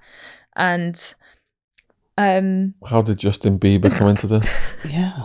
So Justin Bieber would have been about 16 at this time really young, like just started getting famous, and I think he'd split up. He'd, something had happened, like he'd been arrested or something, and a girl. It was said, rumored that a girl had cut herself out of stress because Justin Bieber, because of something Justin Bieber did. So then everyone started doing it. Um, everyone started doing it just I don't know, just because we thought it was funny, and the teachers would get all just weirded out and pissed off that l- suddenly half of the class has got self harm cuts. Um, but then one kid did it on his face. Oh. And they said if it had gone any deeper, he would have had a scar for life. Um, but so I, not to just join in and be doing what everyone else is doing, but I mean, I was feeling shit anyway, and I'd, I'd never seen anyone do that until every every kid was doing it, so it seemed like the norm. And I was always so naughty and that like always felt like I had to be the most at anything. So either the best of the best or the worst of the worst. So if I was going to cut, it was always going to be, it had to be deeper than everyone else's. and I, I was in a classroom in a lesson with the same friend who I bumped into. We'll call him Steve. With the same friend who I bumped into recently, who was in the lesson that that male teacher put his hand down my shirt. Steve was there too, and yeah, this was a lesson with Steve. I think we were actually might have been year seven or eight. This sorry, this is back going back to about twelve, but um, yeah, he sort of showed me how he did his, and it was. I'm not going to explain that because I don't want to give anyone ideas. Um, but he showed me how and what. So I copied, but I um obviously ended up going a bit deeper than them by accident, and it scared me because I could see the fat. Mm. Um, so past the skin, it's like blue where you've got the veins running through, and then there's like these little white yellow balls of fat, and it just it's gross. But um, I had such an adrenaline rush, like mostly out of fear, but it it was the first time I'd felt anything since the sexual abuse had started. So then I tried doing it when I was upset or doing it at home on my own, and um, like suddenly it made all of that upset go away because all I could feel was the adrenaline and then just happy, calm, relaxed. So I started doing that when I was really upset, but then that became just one shit day and just it became like really minimal reasons really and because it's quite addictive self-harm when i first started there was one time i was about 12 and around the house obviously i'd wear and at school i'd wear long sleeves to cover up my scars well my open cuts but um and my parents had been made aware from the school that i'd done it and so I'd wear sleeve, long sleeves around my parents, but this one time I was playing my piano, had an electric piano, I play by ear, and taught myself since I was eight. I was about 12 and I'd cut my arms up, both of them up to about here, just cut, must have been 50 cuts and all deep enough to need gluing. So I'd have to tape them back up. And they weren't dressed, I'd just taped them. So they had a bit of tape over the ones that needed stitches, but then no bandages. And I, because I was in my bedroom, I was just playing my piano with my with just a t-shirt like I've got on now and my dad walked in um has had a, such a go at me like what the fuck oh you like you're making yourself look like a fucking like you're fucking your body up um having a go like what the fuck what the fuck have you done to yourself um and I quickly grabbed a hoodie and put it on but I remember turning around like playing piano happy da da da heard my door go um heard the door open. I was like, oh, all right, dad, all happy with all these cuts up my arms, like as if I think when parents, especially like 10, 20 years ago, or 10 years ago or so, when parents think, okay, depre- a kid with depression, they've got to look like depressed all the time. But I think I could be that upset that I'd cover my arm up that many times, but then feel happy later on or feel okay for a few hours or a few minutes. So I think it's quite an odd. I guess it was maybe a weirder thing for him to see, like all those cuts, all that damage. But then I'm happy. So what? What the fuck? Why am I doing that? Um,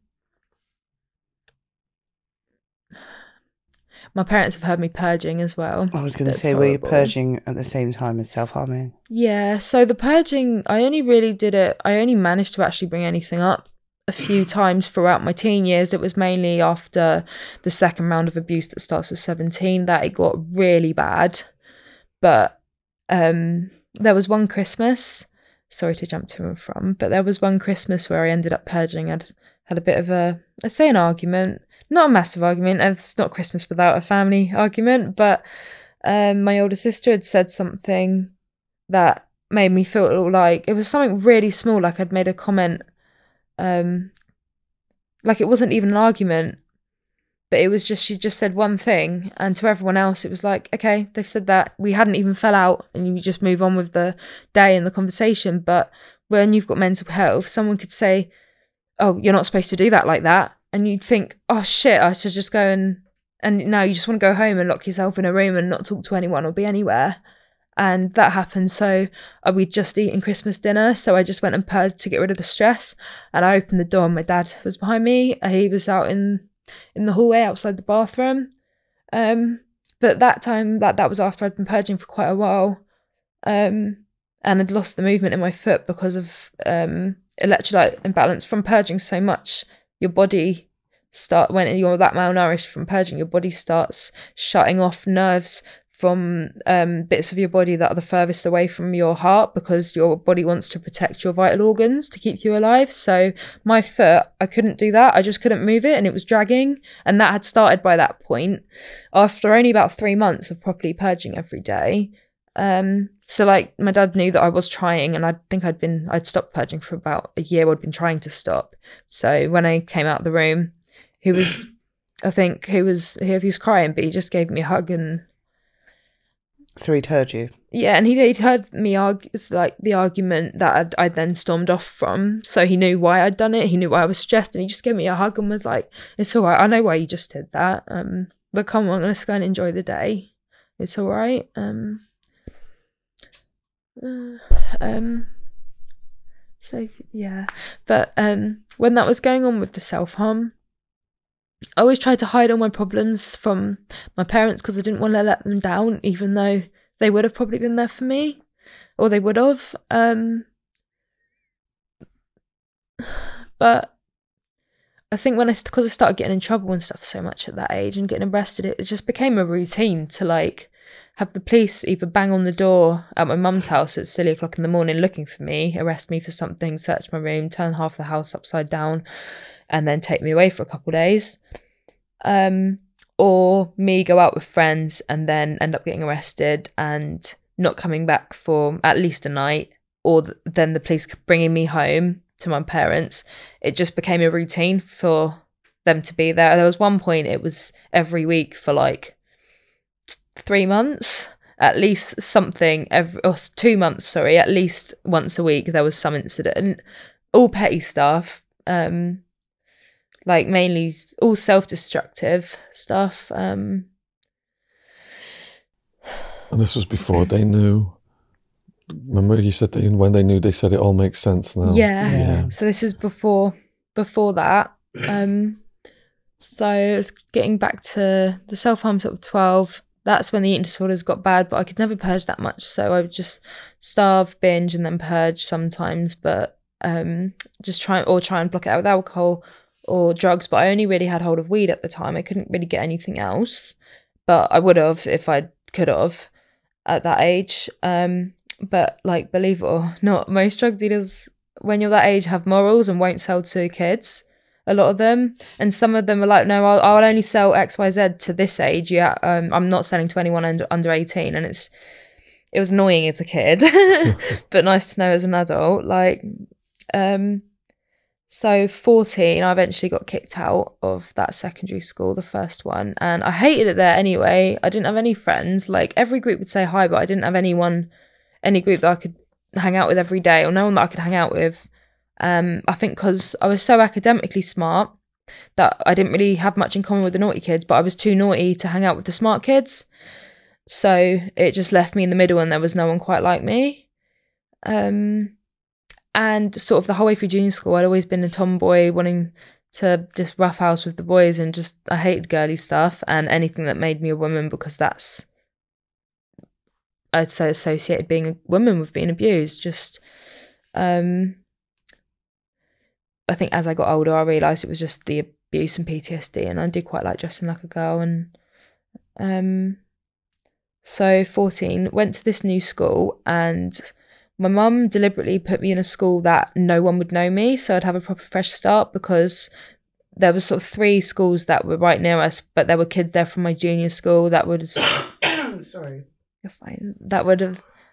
There were three schools right near me, um, but there were they were all ones that the kids I went to junior school with were going, and other naughty kids that I'd been on like this naughty boot camp thing. They the police and the local schools and police put a army style like knock some sense into your boot camp weekend for all the naughty kids in the area, but we just ended up meeting loads of new friends and having like the most fun weekend ever. um, but all the kids from there were at these schools. So my mum found a school that was just outside the area, close enough to get to, but just far away that no one would know me. So I had a proper fresh start there. So all the kids that hated me because of my first abusers, Drew, spreading shit and getting everyone to hate me. None of them were there. That didn't happen at this second school. So I genuinely had like a proper fresh start. So I wanted to make friends and be kind of popular and make sure I knew that it wasn't just something wrong with me, that it was just because I've met a few assholes that happen to know everyone, that that was the reason no one liked me. um, and I thought it might give um, my twin a chance to not be associated with me so much because obviously she was she was still struggling with all the stuff I struggled with self harm, mental health, um, eating disorders, and that. But she was a very quiet sufferer. She never acted out. Um, she was very inward channeled all of her self destruction. So, like, quiet kids don't get help or attention. And I think when you're struggling as a kid, any attention is good attention. Um, so, I've started this new school and I think I was off school for about a good six months before this, like because it just took a while finding the right school and getting a place there and getting a chance because they knew my history. They knew that the reason I was suddenly moving schools to like well, what was on paper a bit of a rougher school than the first one I'd been at. But when I moved there, like instead of having set form classes where it's year group forms, they had mixed age groups form classes. So it was more normal to be friends with kids that are younger than you and older than you. It wasn't just like an uncool thing to be friends with like year eights or whatever when you're year 10, 11. Um, so I felt a lot more welcomed there. And the teachers, because it was a bit of a rougher school, it's like the teachers knew that kids have it hard that age and that um, they were a lot more aware of mental health and sort of drugs and stuff. And all that, that acting out is usually because the kid's feeling shit and I was never made to feel like I was in trouble for being mentally ill there, which I had done at the other school.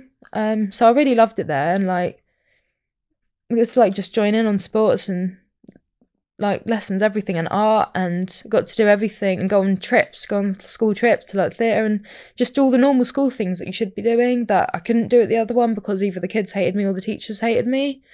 Um, some of like the teachers hated me, it was justified. Some of them, I remember once being told my friend had overheard a teacher saying with my first and last day, "Oh, you're lucky you haven't got Nita in your class," and the other teacher had said, "She's lucky she's not in my class." um, so none of that at this new school. Um, and I, I, attached myself pretty quickly to this group of quite well behaved kids, and they were like mediocre on the popularities level, not too much of anything, and just nice kids. And one of them like helped show me around. Um, and she hadn't been allocated to me, like she didn't have to, but she helped me find my way around the whole first week. Um, but one of her friends was like, I think, intimidated by me because they'd all been friends for years and just started being really passive aggressive and just trying to make me look like a dickhead. Um, so like challenged her to a fight, and that was after like two weeks of being at that school. But um, yeah, that was just the first bit of shit. So I stopped hanging out with her. We didn't end up fighting in the end. Um, I think after I'd fell out with that first group of friends, I thought, oh fuck, like you know, no one's gonna, I'm never gonna find friends here. And all the other groups were, all of these kids had been friends since like primary school, if not like nursery. so it's really hard to come in at like year 10, um, age 14, 15, or 14, yeah, 14, turning 15. Um, I was so I was smoking on my own um, behind these sort of metal crates that were outside and and at like break time, and I was smoking. Um, and this girl come up to me. Um, I thought she was going to have a go, and this is after I was going to have a fight with um, the girl from the first group. Um, let's call her Ray. so Ray's who I was going to have a fight with in that group, making it really difficult for me to, making it well known to me that I wasn't welcome in that friend group. That's fine. Not everyone's going to like me. That's okay but didn't feel like it at that age. But after the fight didn't happen, it's a couple weeks later, and I was smoking behind like a metal crate shed type thing, and this girl's come up to me with a big group of friends, and I'm thinking, oh shit, like it, it looked a bit, um, I felt a bit uncomfortable, um, because she was she came up to me and said, oh, I heard you were gonna fight Ray. um, what happened. And I was like, nah, she didn't turn up, but she said she was waiting with like 50 people. And I thought this girl was friends with her. And she goes, oh, shut up. Ray doesn't have five friends, let alone 50. And then we were just friends after that. She's like, don't smoke here, it's bait. I'll, I'll show you where you can smoke. Um, and she's like, do you, do you, um, do you like, do you smoke weed? Because like we're trying to make sure that I wasn't gonna grass on them. I was like, oh, I've got half a spliff in my bag, so we shared that. um, and then I became friends with her. I'm gonna call her Dee. Um, yeah, these um, I don't don't want to I want to don't want to give too much away without putting it in order. but Dee was really smart, clever, beautiful. Um, but she'd been through a lot, and I started hanging out with her. I'd go on her estate, and um, I think I am fifteen by this point, um, or almost fifteen, and I'd hang out after school. She lived on this massive estate where all the kids of all ages would hang out together, so it was so much more welcoming than where I lived. Um, and because the only um, image these kids knew of me was just me being 14 and onwards. They didn't have anyone to tell them she's a dickhead or she's a loser, don't hang out with her. So they all gave me a chance, and I, I was friends with everyone, and I could like. I, it, I still had that kind of thing of not having my own group of friends and just walking in and out of groups, except I had her group of friends and every other group would say hi to me and stop and chat from like the smartest kids to like the naughtiest kids. Um, and then obviously you meet all their friends and friends of friends, and you just I just ended up probably like I had about 30 people that I could count on.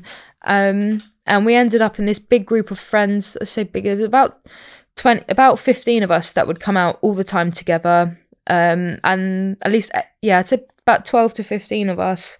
And we were just this massive group that would always hang out. And I felt properly sort of embedded in that group. And I think after hanging out with Dee, it's like I remember smoking once, and the ones who were at school, um, I turned around and everyone was following me, like as if oh, they're going, "Where are we going?" asking me, and I'm like, like as if like they'd really warmed up to me, like I actually had a place in that group of friends. So you started to feel quite popular. Yeah, um, and I was, I think, one of the teachers that told my mum that I've stopped hanging out with the good kids, and these are the naughtiest kids that I'm hanging out with. But um, yeah, we I'd, I'd hang out at her house after school at Dee's house, met her family. They were all lovely. Um, I think the dad smoked weed, so it was we didn't really have to hide that around them. But I think weed was still that's like all they did so It wasn't um like we couldn't ask about anything else around them. But um I felt like we got away with a bit more and we were allowed out to play out later than at my mum's. Um so I'd stay around and we'd sneak out from hers at like midnight. My parents are too um on the ball to for any of us to have ever snuck out and got away with it.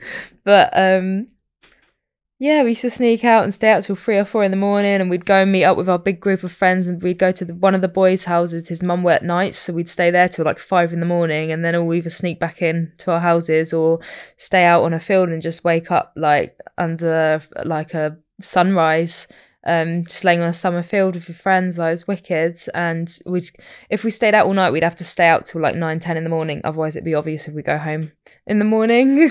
so we're like, no, no, I stayed at so and so's house. Um, but I was still in a lot of mental pain and wanted to be out of it. So I started. We we're talking about trying other drugs, and I was bored of drinking and weed because it made me fat. And I think she had a bit of an eating disorder as well. So we'd go all day trying not to eat and help each other not eat. I guess like a real life ana buddy. um, so one afternoon, I guess after school, um, I think it was would have been near winter time, but it was a really sunny day, and um, we we're just sitting out in the sun. I think we've been smoking weed and maybe drinking, um, and I think I said, "Oh, wouldn't it be funny if we like." Um, someone was talking about speed and coke, and I was like, "Oh, wouldn't it be funny if we tried speed?" And like two hours later, we had two grams of speed of base. Um, yeah, got it through friends of I guess she had contacts, but she hadn't tried it yet, but she had people that she thought she could ask. Um these were adults though, so they like only sold to us the once. Um but I tried it and it was just no, they just gave it to us. We were like, yeah, yeah, we've done loads before. Our, our dealer's not here, like just trying to bullshit so that they'd sell to us because no one's going to sell to someone that's not used before. Um, so we tried it. It was the base, like the powder. Um, um, not the powder, sorry, the paste. And we didn't know how much to take, so we just took like fucking quartered it and took um half a gram each of base, about half a gram, maybe 0.3 at that. No, about 0.3, 0.4, 0.5, sorry. That's a lot. which is a lot, especially for like a still child developing brain. But it was just amazing. I felt um like I was flying. And we walked around all night. We walked like six miles, and I was just flying and like dancing and laughing and running and like running in the bush, uh, like uh, you had to like jump and lay down, jump into off the side of the road into a bush and lay down, hiding after the police were looking for us because like we hadn't told our parents that we were just staying out and we just stayed out. Um, I remember going to school the next morning. We'd been out all night and we still had enough speed to keep going for the whole next day.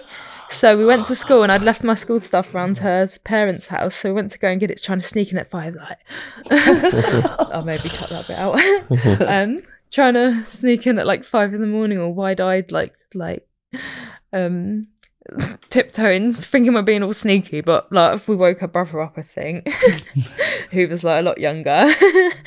um, but grabbed my school stuff, went straight to school, and we got in there early to have like a wash and brush our teeth in the toilets. Um, and these girls have walked in to like do their makeup, and they're like, "Have you been out all night?" And we're like. Yeah. and like, oh my god, tell, tell, tell. Like it's all exciting at that age, isn't it? Um, but I felt happy on that and like I was flying and the whole next day, like I thought I was doing amazing in my schoolwork, but I wasn't. I was probably just rambling and chatting so much shit to everyone. But it made me so confident. I couldn't speak to anyone normally, and I spent the whole day just talking to everyone, having really deep heart to heart conversations with anyone I sat next to because I was still really new at that school. I was like dancing and I think I was on report already. I was on like a naughty report. I think from day one when I got there, they said that was the deal with me coming to the school was I was on report.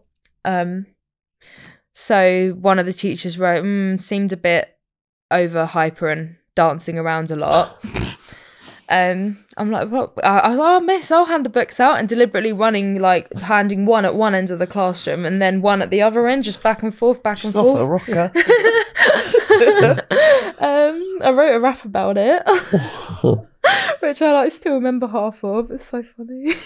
Are you Uh, able that to? bit. Oh, A rap. Yeah. Yeah, Come on, bust out. Just the chorus was like, I'm not gonna rap it, but like the chorus was. Um, Please rap it. Maybe one day. But the chorus was like, a friend with, with weed is a friend indeed, but what I want most is a dose of speed. Swallow it whole, snort it like me. This is what it feels like to be free. I can feel the blood pump through my veins. My whole body shakes and my teeth vibrate. Words can't describe it. I'm at heaven's gates, gonna be sick, but I never felt so great. Wow.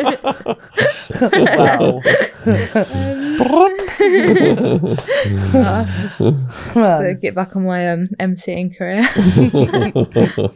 oh, we'd all write raps as well at that age. All the kids on the naughty estate, on Dee's estate, it was something we'd all do high. And not many others, um, not many others of, of our group would use it. Was just us two, and the rest of them were sort of on weed and that.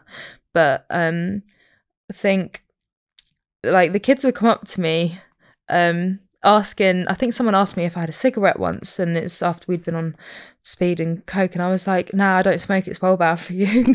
And she's like wait but you do like speed and cocaine? I'm like yeah that's this opens your mind up like just stupid. And like they used to find it funny the kids that i'd stay for an hour after school t- um, for triple science. It was like um, so you'd get three science GCSEs instead of one, and they're like, "Wait, you're in triple science, and then you're going off to do like hardcore drugs and just I don't it's such like a walking contradiction."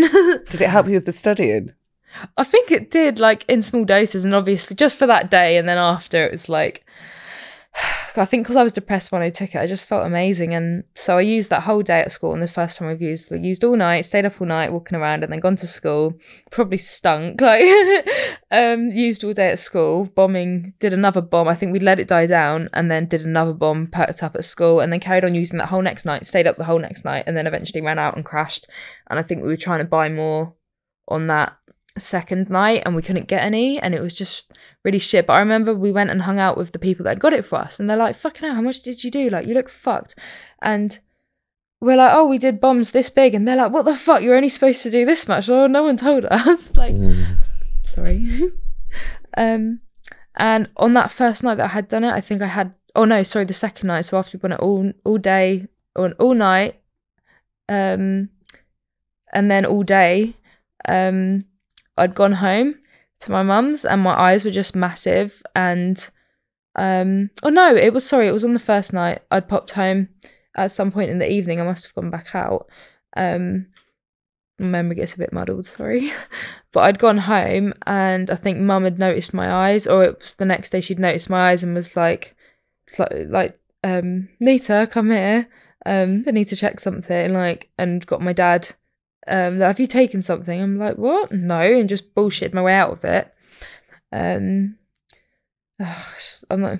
Some of the excuses I used to use, like, oh, I just had this health drink. Yeah, it's got loads of vitamins in it, and it's made my pupils big. Like, well, I've been swimming. That's why my eyes are red. Like, um, but I remember catching a glimpse of myself in the mirror after I'd been using for like a whole day and a half, and it was the first time I'd used any uppers. I thought, fucking hell, and I hadn't eaten for that whole time, and just been running around like a loony. Um, but I liked not feeling empty with the eating disorder. Physically not eating, it made me feel strong and just enough, like worthy of love, which I didn't feel like when I've eaten.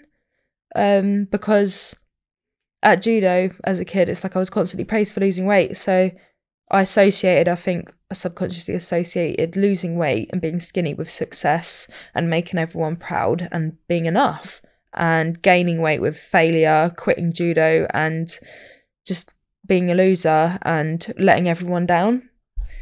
Um, so that's why I started hating fat. And it wasn't so much the way I looked, it was just as long as there's an ounce of fat on my body, then I'm a failure and I've let everybody down. Um, so obviously the drugs helped with that. And I think we didn't use for like a good month after that because we just couldn't get any. And then when we eventually found someone willing to sell to us, they wouldn't do speed. They only had Coke and MDMA, but we didn't, or it was Coke cut with MDMA. I think looking back now and knowing what drugs are supposed to look and taste like, it was Coke.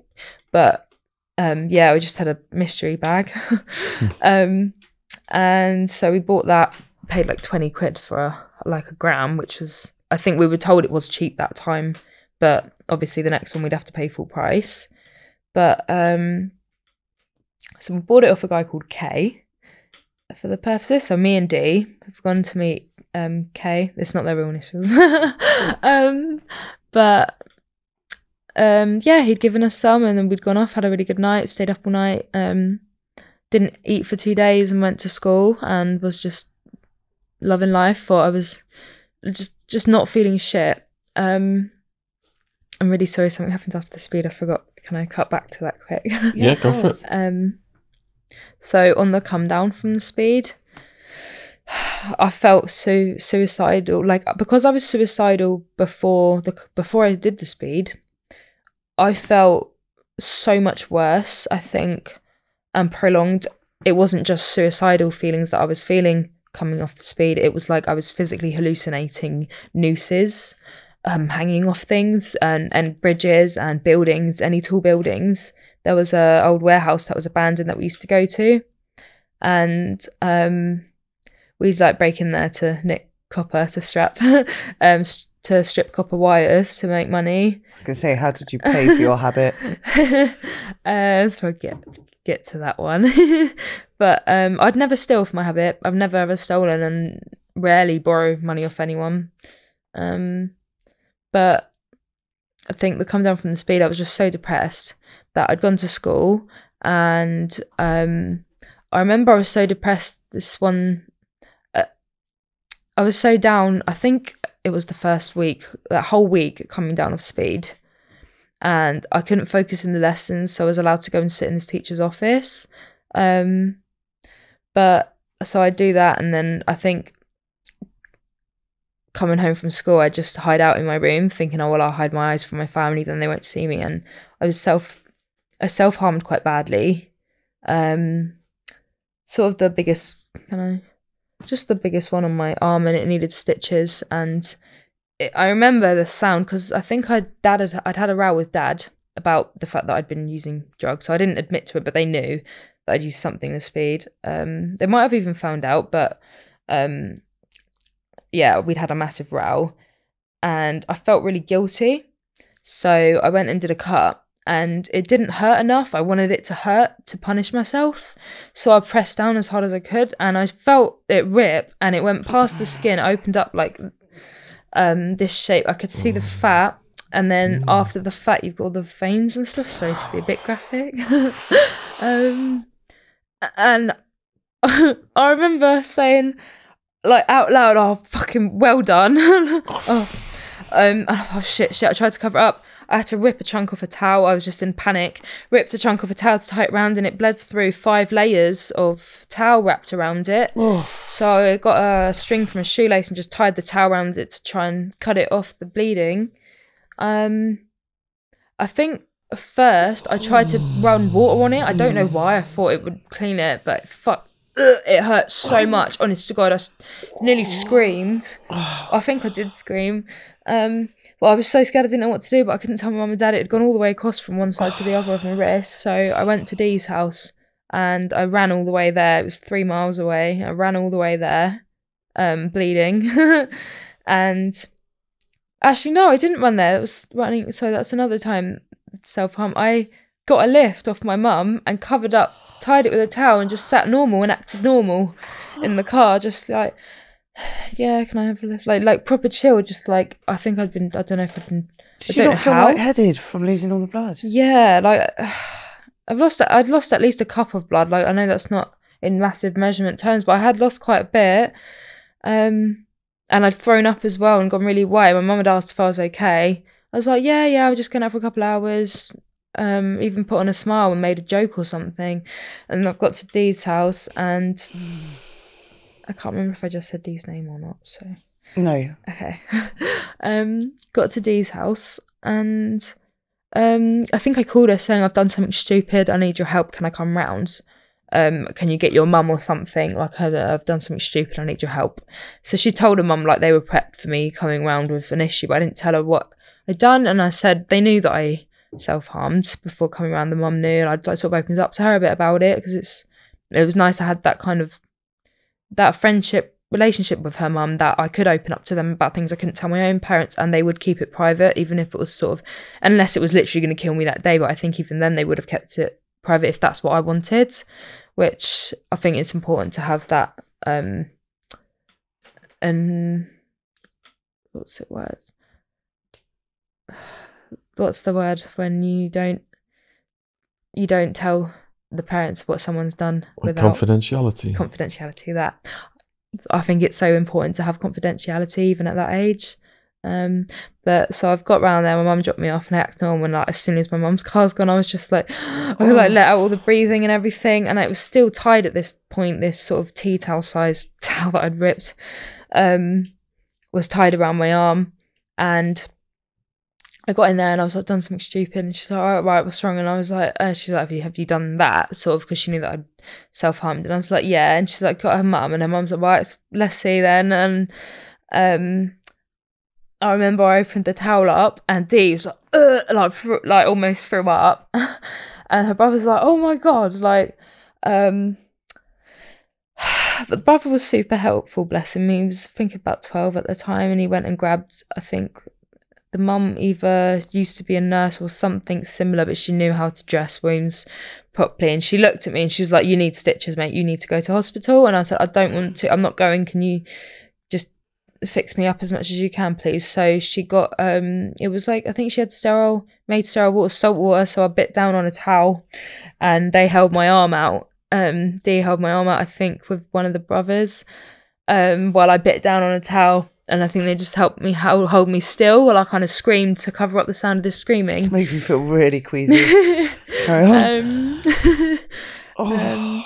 um, yeah, then she dried it up, basically did butterfly stitches and bandaged it up, and I was good to go.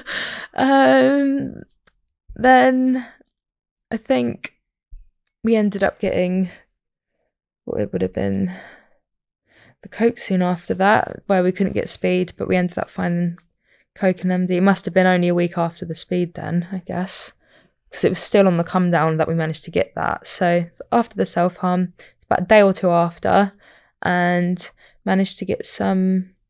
Well, he it was a miss, it was a goodie bag we were told with coke and Mandy, but um, like looking back now, knowing it, it was mostly coke. Um, so we again didn't let on that we hadn't done it before, so we got it, and then I think we did it on a railing, didn't know how to rack up or cut up or anything. We didn't do any of that. We just it's powder, poured it onto something and knew that you're supposed to sniff it. And that was about it. So we tried that and then gummed it. I think at first, I think the first couple times Dee only gummed it and didn't sniff. Um, but I sniffed it first time. I wanted to go all out. Like if I was going to do drugs, I was going to be the druggiest druggy and do more more than anyone. Like as with everything in my life. um so this is still um 14 years old. Wow. or um maybe just turning 15. Um so we ended up using a few more times, but it was really hard to use more than once a month because it was so hard to get and we didn't have much money. So now 15, ended up the person we bought the coke off said that he could get um so Kay we'd bought off said he could get us a half ounce of speed. I'd sold I was like I think we'd found an abandoned warehouse and everyone had just been playing in it, but I saw all these copper wires and I'd done that. My dad was a builder, so I'd strip, uh, strip copper wires to take down to the scrappy and get money for them per kilo. And I saw all this, I could just see all this opportunity in there. So I was like, right, come on, we're too young to work. And, but, oh, oh not from rich families. So I was like, bag up anything metal you find that's look this color. That means it's worth. If it's not, it's brass. We didn't want. I was like, right, this is the color you look for. So um, we went down. I think the next day with loads of us, and they were all asking me, right, is this worth money? Nope, chuck that. Is this one? Yep, that one's good. like bagging up like suitcases full of freaking wires and pipes and you need stuff. we ended up all um, um, the whole next weekend. I remember going to Dee's house, and our whole family were out helping us strip all this copper we ended up getting about I think 600 quid between about four of us. So my share, I think it was 200 pounds. Um, I think we had 200 each our share because we a load lo- loads of people helped us um, strip it, so we would sort of give them some of it. mm. um, so worked my ass off for like three days. I had blisters all on my hands, all cut up from doing the wires, and went into school I couldn't even write with um, a pen because I had so many blisters and cuts all on my hands from stripping wires. So went and scrapped it after the weekend and got 200 quid each. I think it was like a Tuesday or a Wednesday, and um, we scrapped it and got the scrapped it all weekend. Then Tuesday or Wednesday we had our money, and it's like my parents kind of knew what I was spending it on, but it's like, well, it's your money. You want to waste it, or you go ahead. And I think if they, um, but we're not going to pay for it. And it's, um, I've always been quite good with money. I'd always save it, but but with drugs, I'd only ever buy enough that I could afford. I'd never go over. I'd never take. I'd, I'd never borrow it without paying it on the day, um, and I'd I'd never do it if I had 50 quid left to my name, I'd only spend 10 and I had 30 quid's worth. I'd always save myself something. I wouldn't ever, even at the height of my addiction, I'd never just, I was never one of these sort of drug users that just spends absolutely every penny on it. Um, but I was 15 now, craving drugs more and more and realizing how much they helped me lose weight. And with my eating disorder, that is, I'd say, 80% the reason sometimes that I stayed on them. And the more I was doing drugs and staying out a lot, the more I was still getting arrested and the more problems it was causing at home. So my family relationships got really difficult with my parents and I was like treading on eggshells and stuff around all the time. Um, so I prefer to just stay out. So after the wires, after the money, we ended up going to Kay because thinking, okay, we'll get, he said he can get us a half ounce or whatever amount. It was a big amount of might have been 12 grams. It was a, it was an odd amount now looking back that they don't come in. but um yeah, we went all like happy and excited with this money. And we met up with him. We were in our school uniform, stupidly, and we've gone to like a park and she said i was like do you trust him? Because this is a lot of money you know? Like we've worked our arse off. Do you trust him? You promise? She's like yeah no he no he won't fuck me over. Get to a park. And then he's like yeah it's my mate's house but you're not allowed in so you gotta wait over here. And i was like fucking smelt a rat already like even at that age i don't think i'd ever been bumped before by any dealers but i, I knew this isn't good and we waited. I was like do you trust him? And I, but I, I didn't trust him but i trusted her. And she trusted him so but Mm. and we didn't really have a choice because it was like well otherwise we're not going to get any. So i'd rather risk losing it all to maybe get it than not. And we knew where he lived so i thought he's not going to fuck us about is he? We knew where his parents live.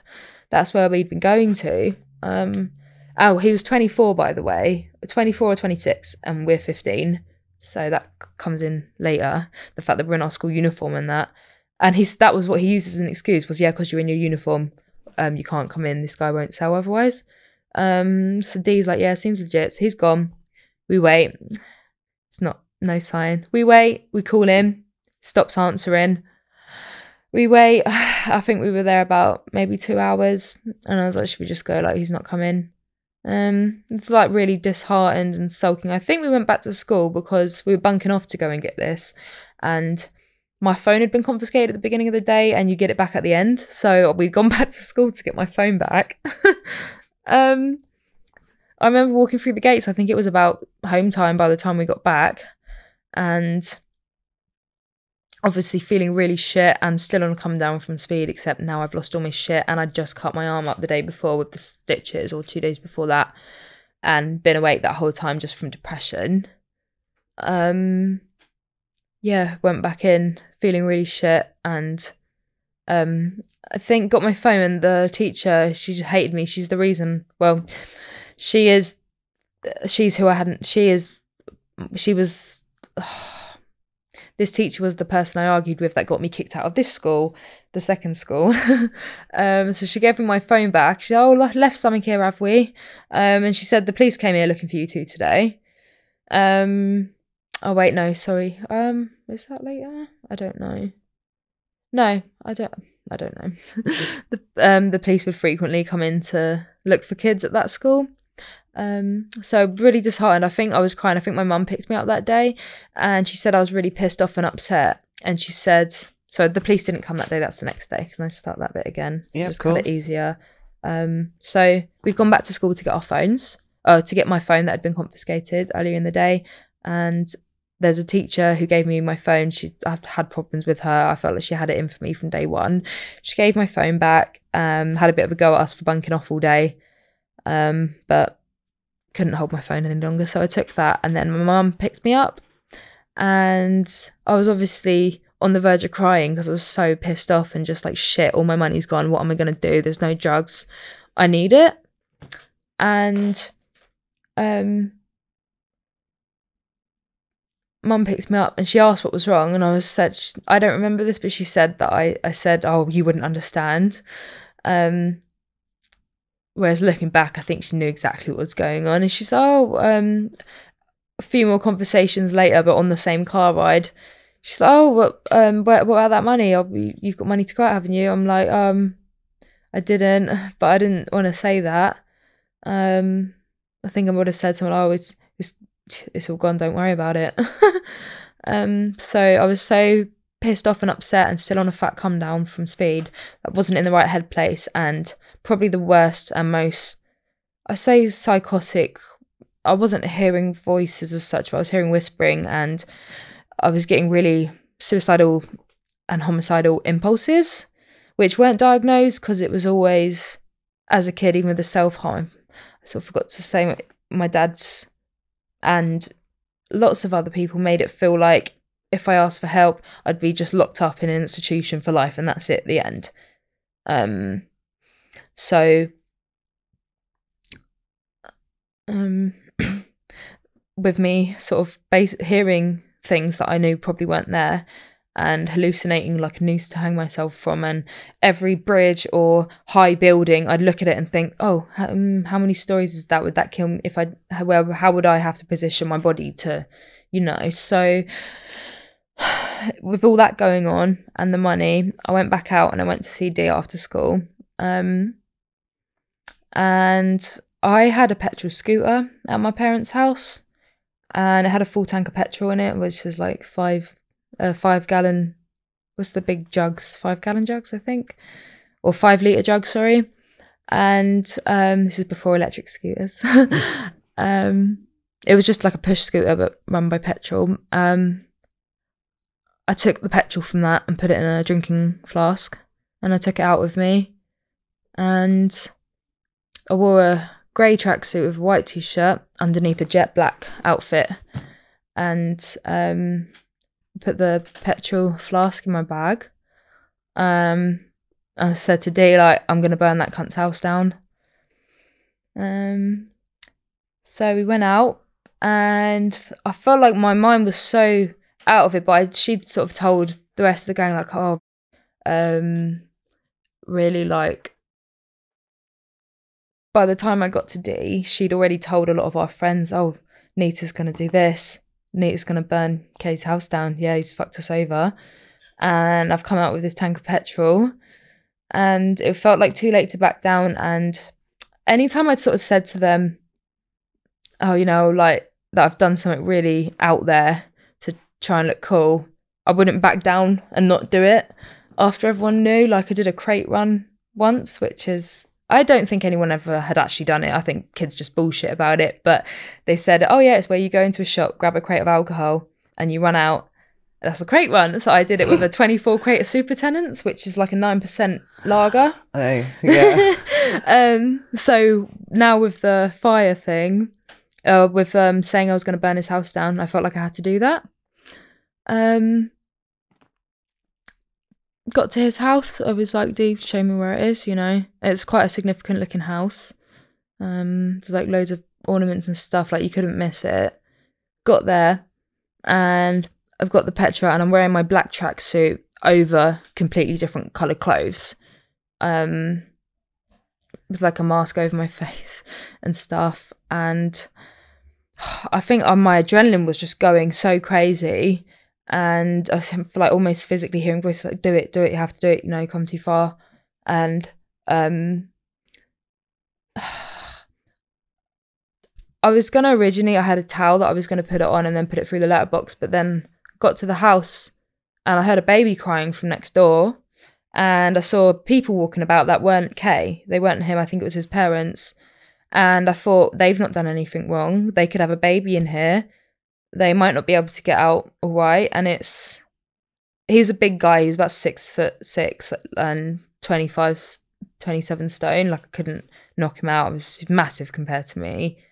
Um, that's I don't know why it seemed like the logical thing to do would be the fire, but then I thought, like, I don't want to kill anyone. And even in that depth of psychosis, not everyone can do this, but for me, I, I thought, like, this isn't okay. So I just thought I do want to scare him though, so he'll give my money back. Um, Did you do his car?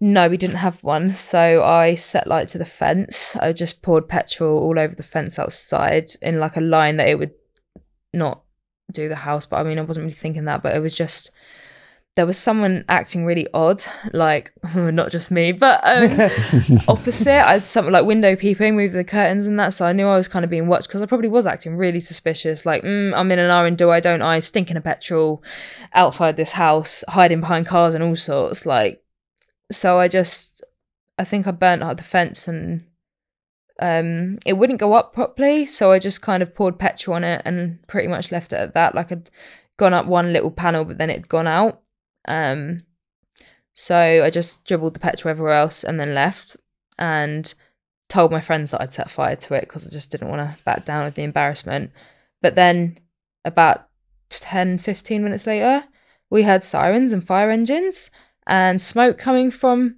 that house so it wasn't. It was the CO2 from the carbon dioxide from the fire engines that had come out and sprayed the fuck out of the fence just to make sure nothing did go up.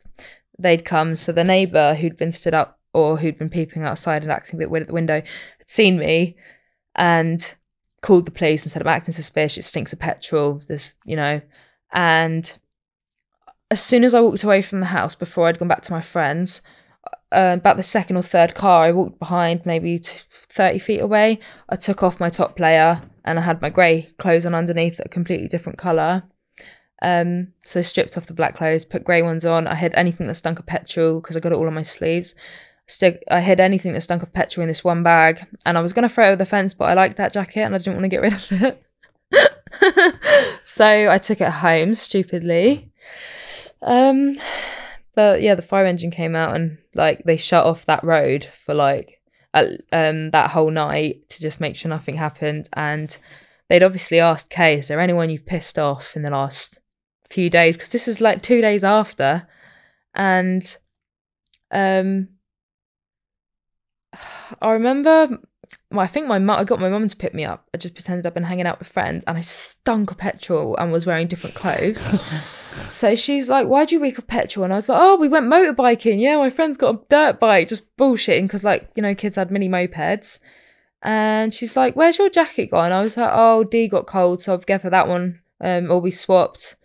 Um, it's like excuse for everything got home and my bedroom as a kid was in the loft. So i had eaves which were cupboards that went around the entire um, length of the house.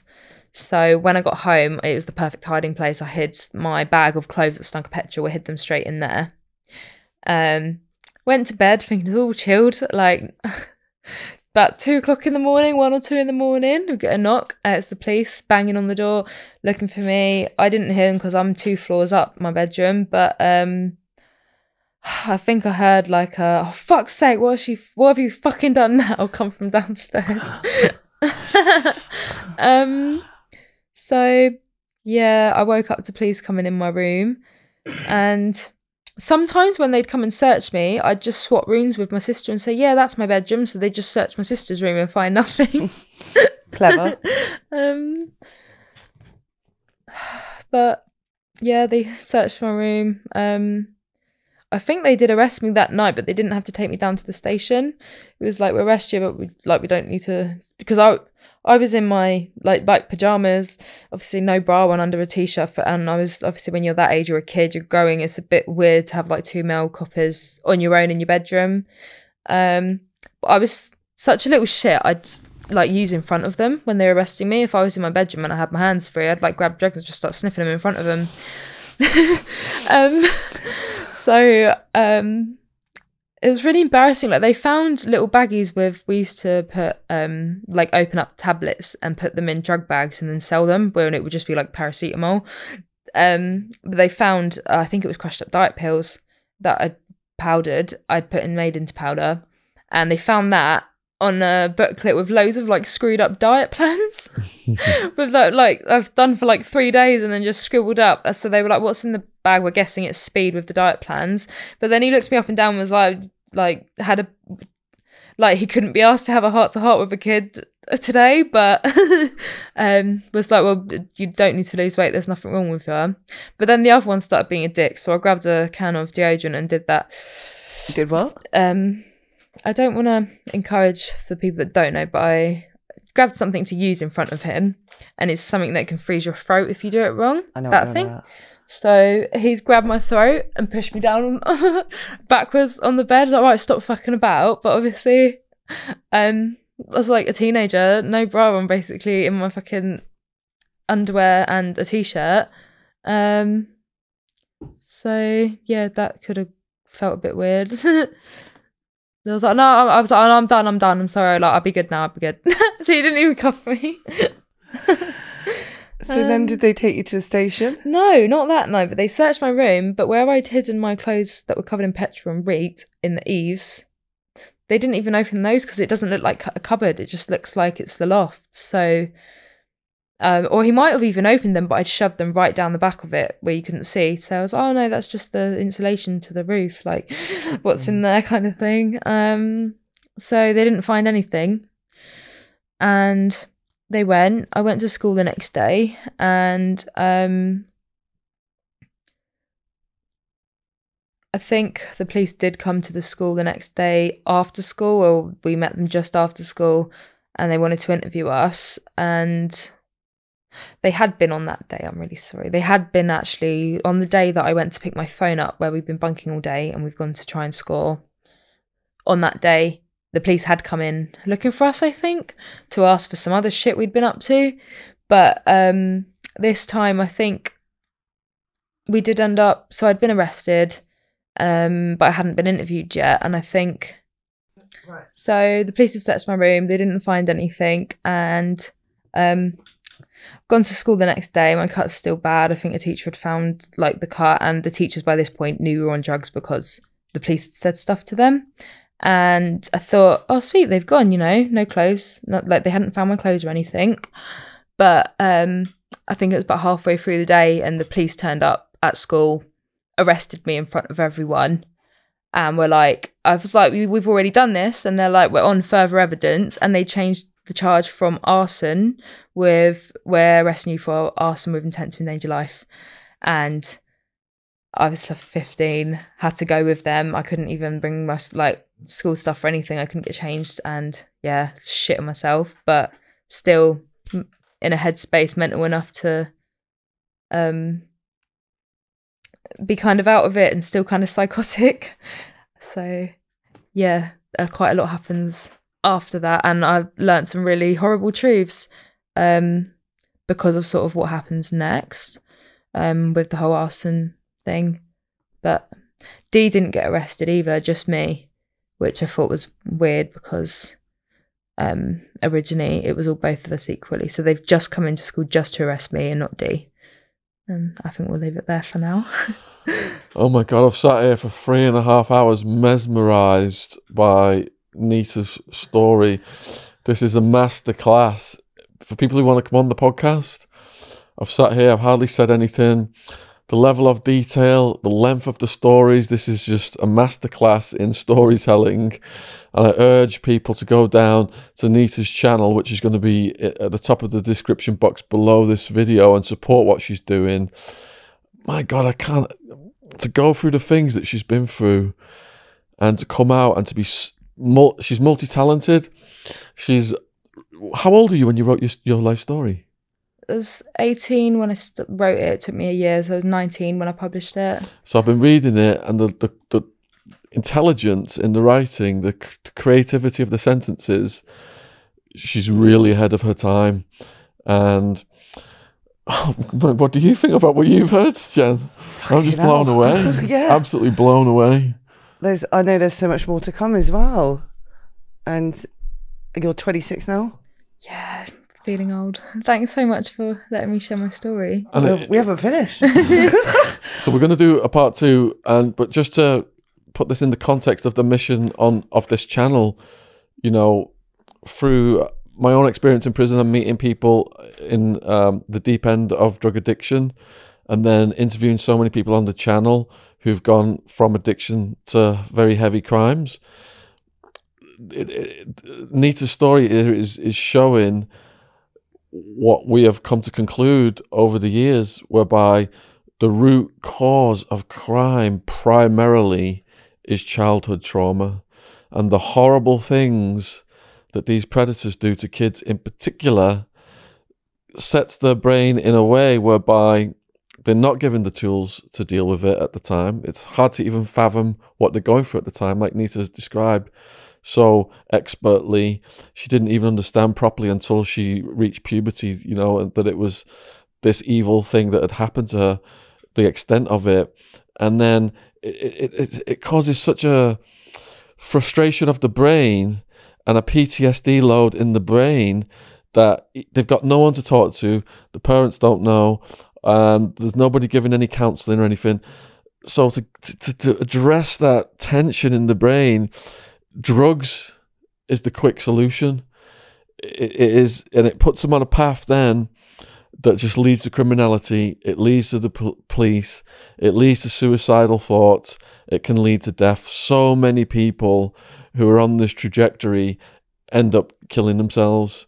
And for Nita to come out of the other side of it through this darkness to channel energy into literature, into her YouTube channel, and into all the positive things that she's doing now it's just you know we, we, we all have to salute her bravery so please let us know in the comments what you thought about part one of this journey we, we're going to be doing part two um, pretty soon and just you know absolutely amazing um, to see Nita come out of the other side of it and, and be doing so well now Thanks so much for yeah having me. yeah cheers yeah, Cheers. yeah. I'll give you a hug. Oh. Oh, bless you, man. You did so well. Oh. Yeah, well, well, a well done, well done, well done, yeah.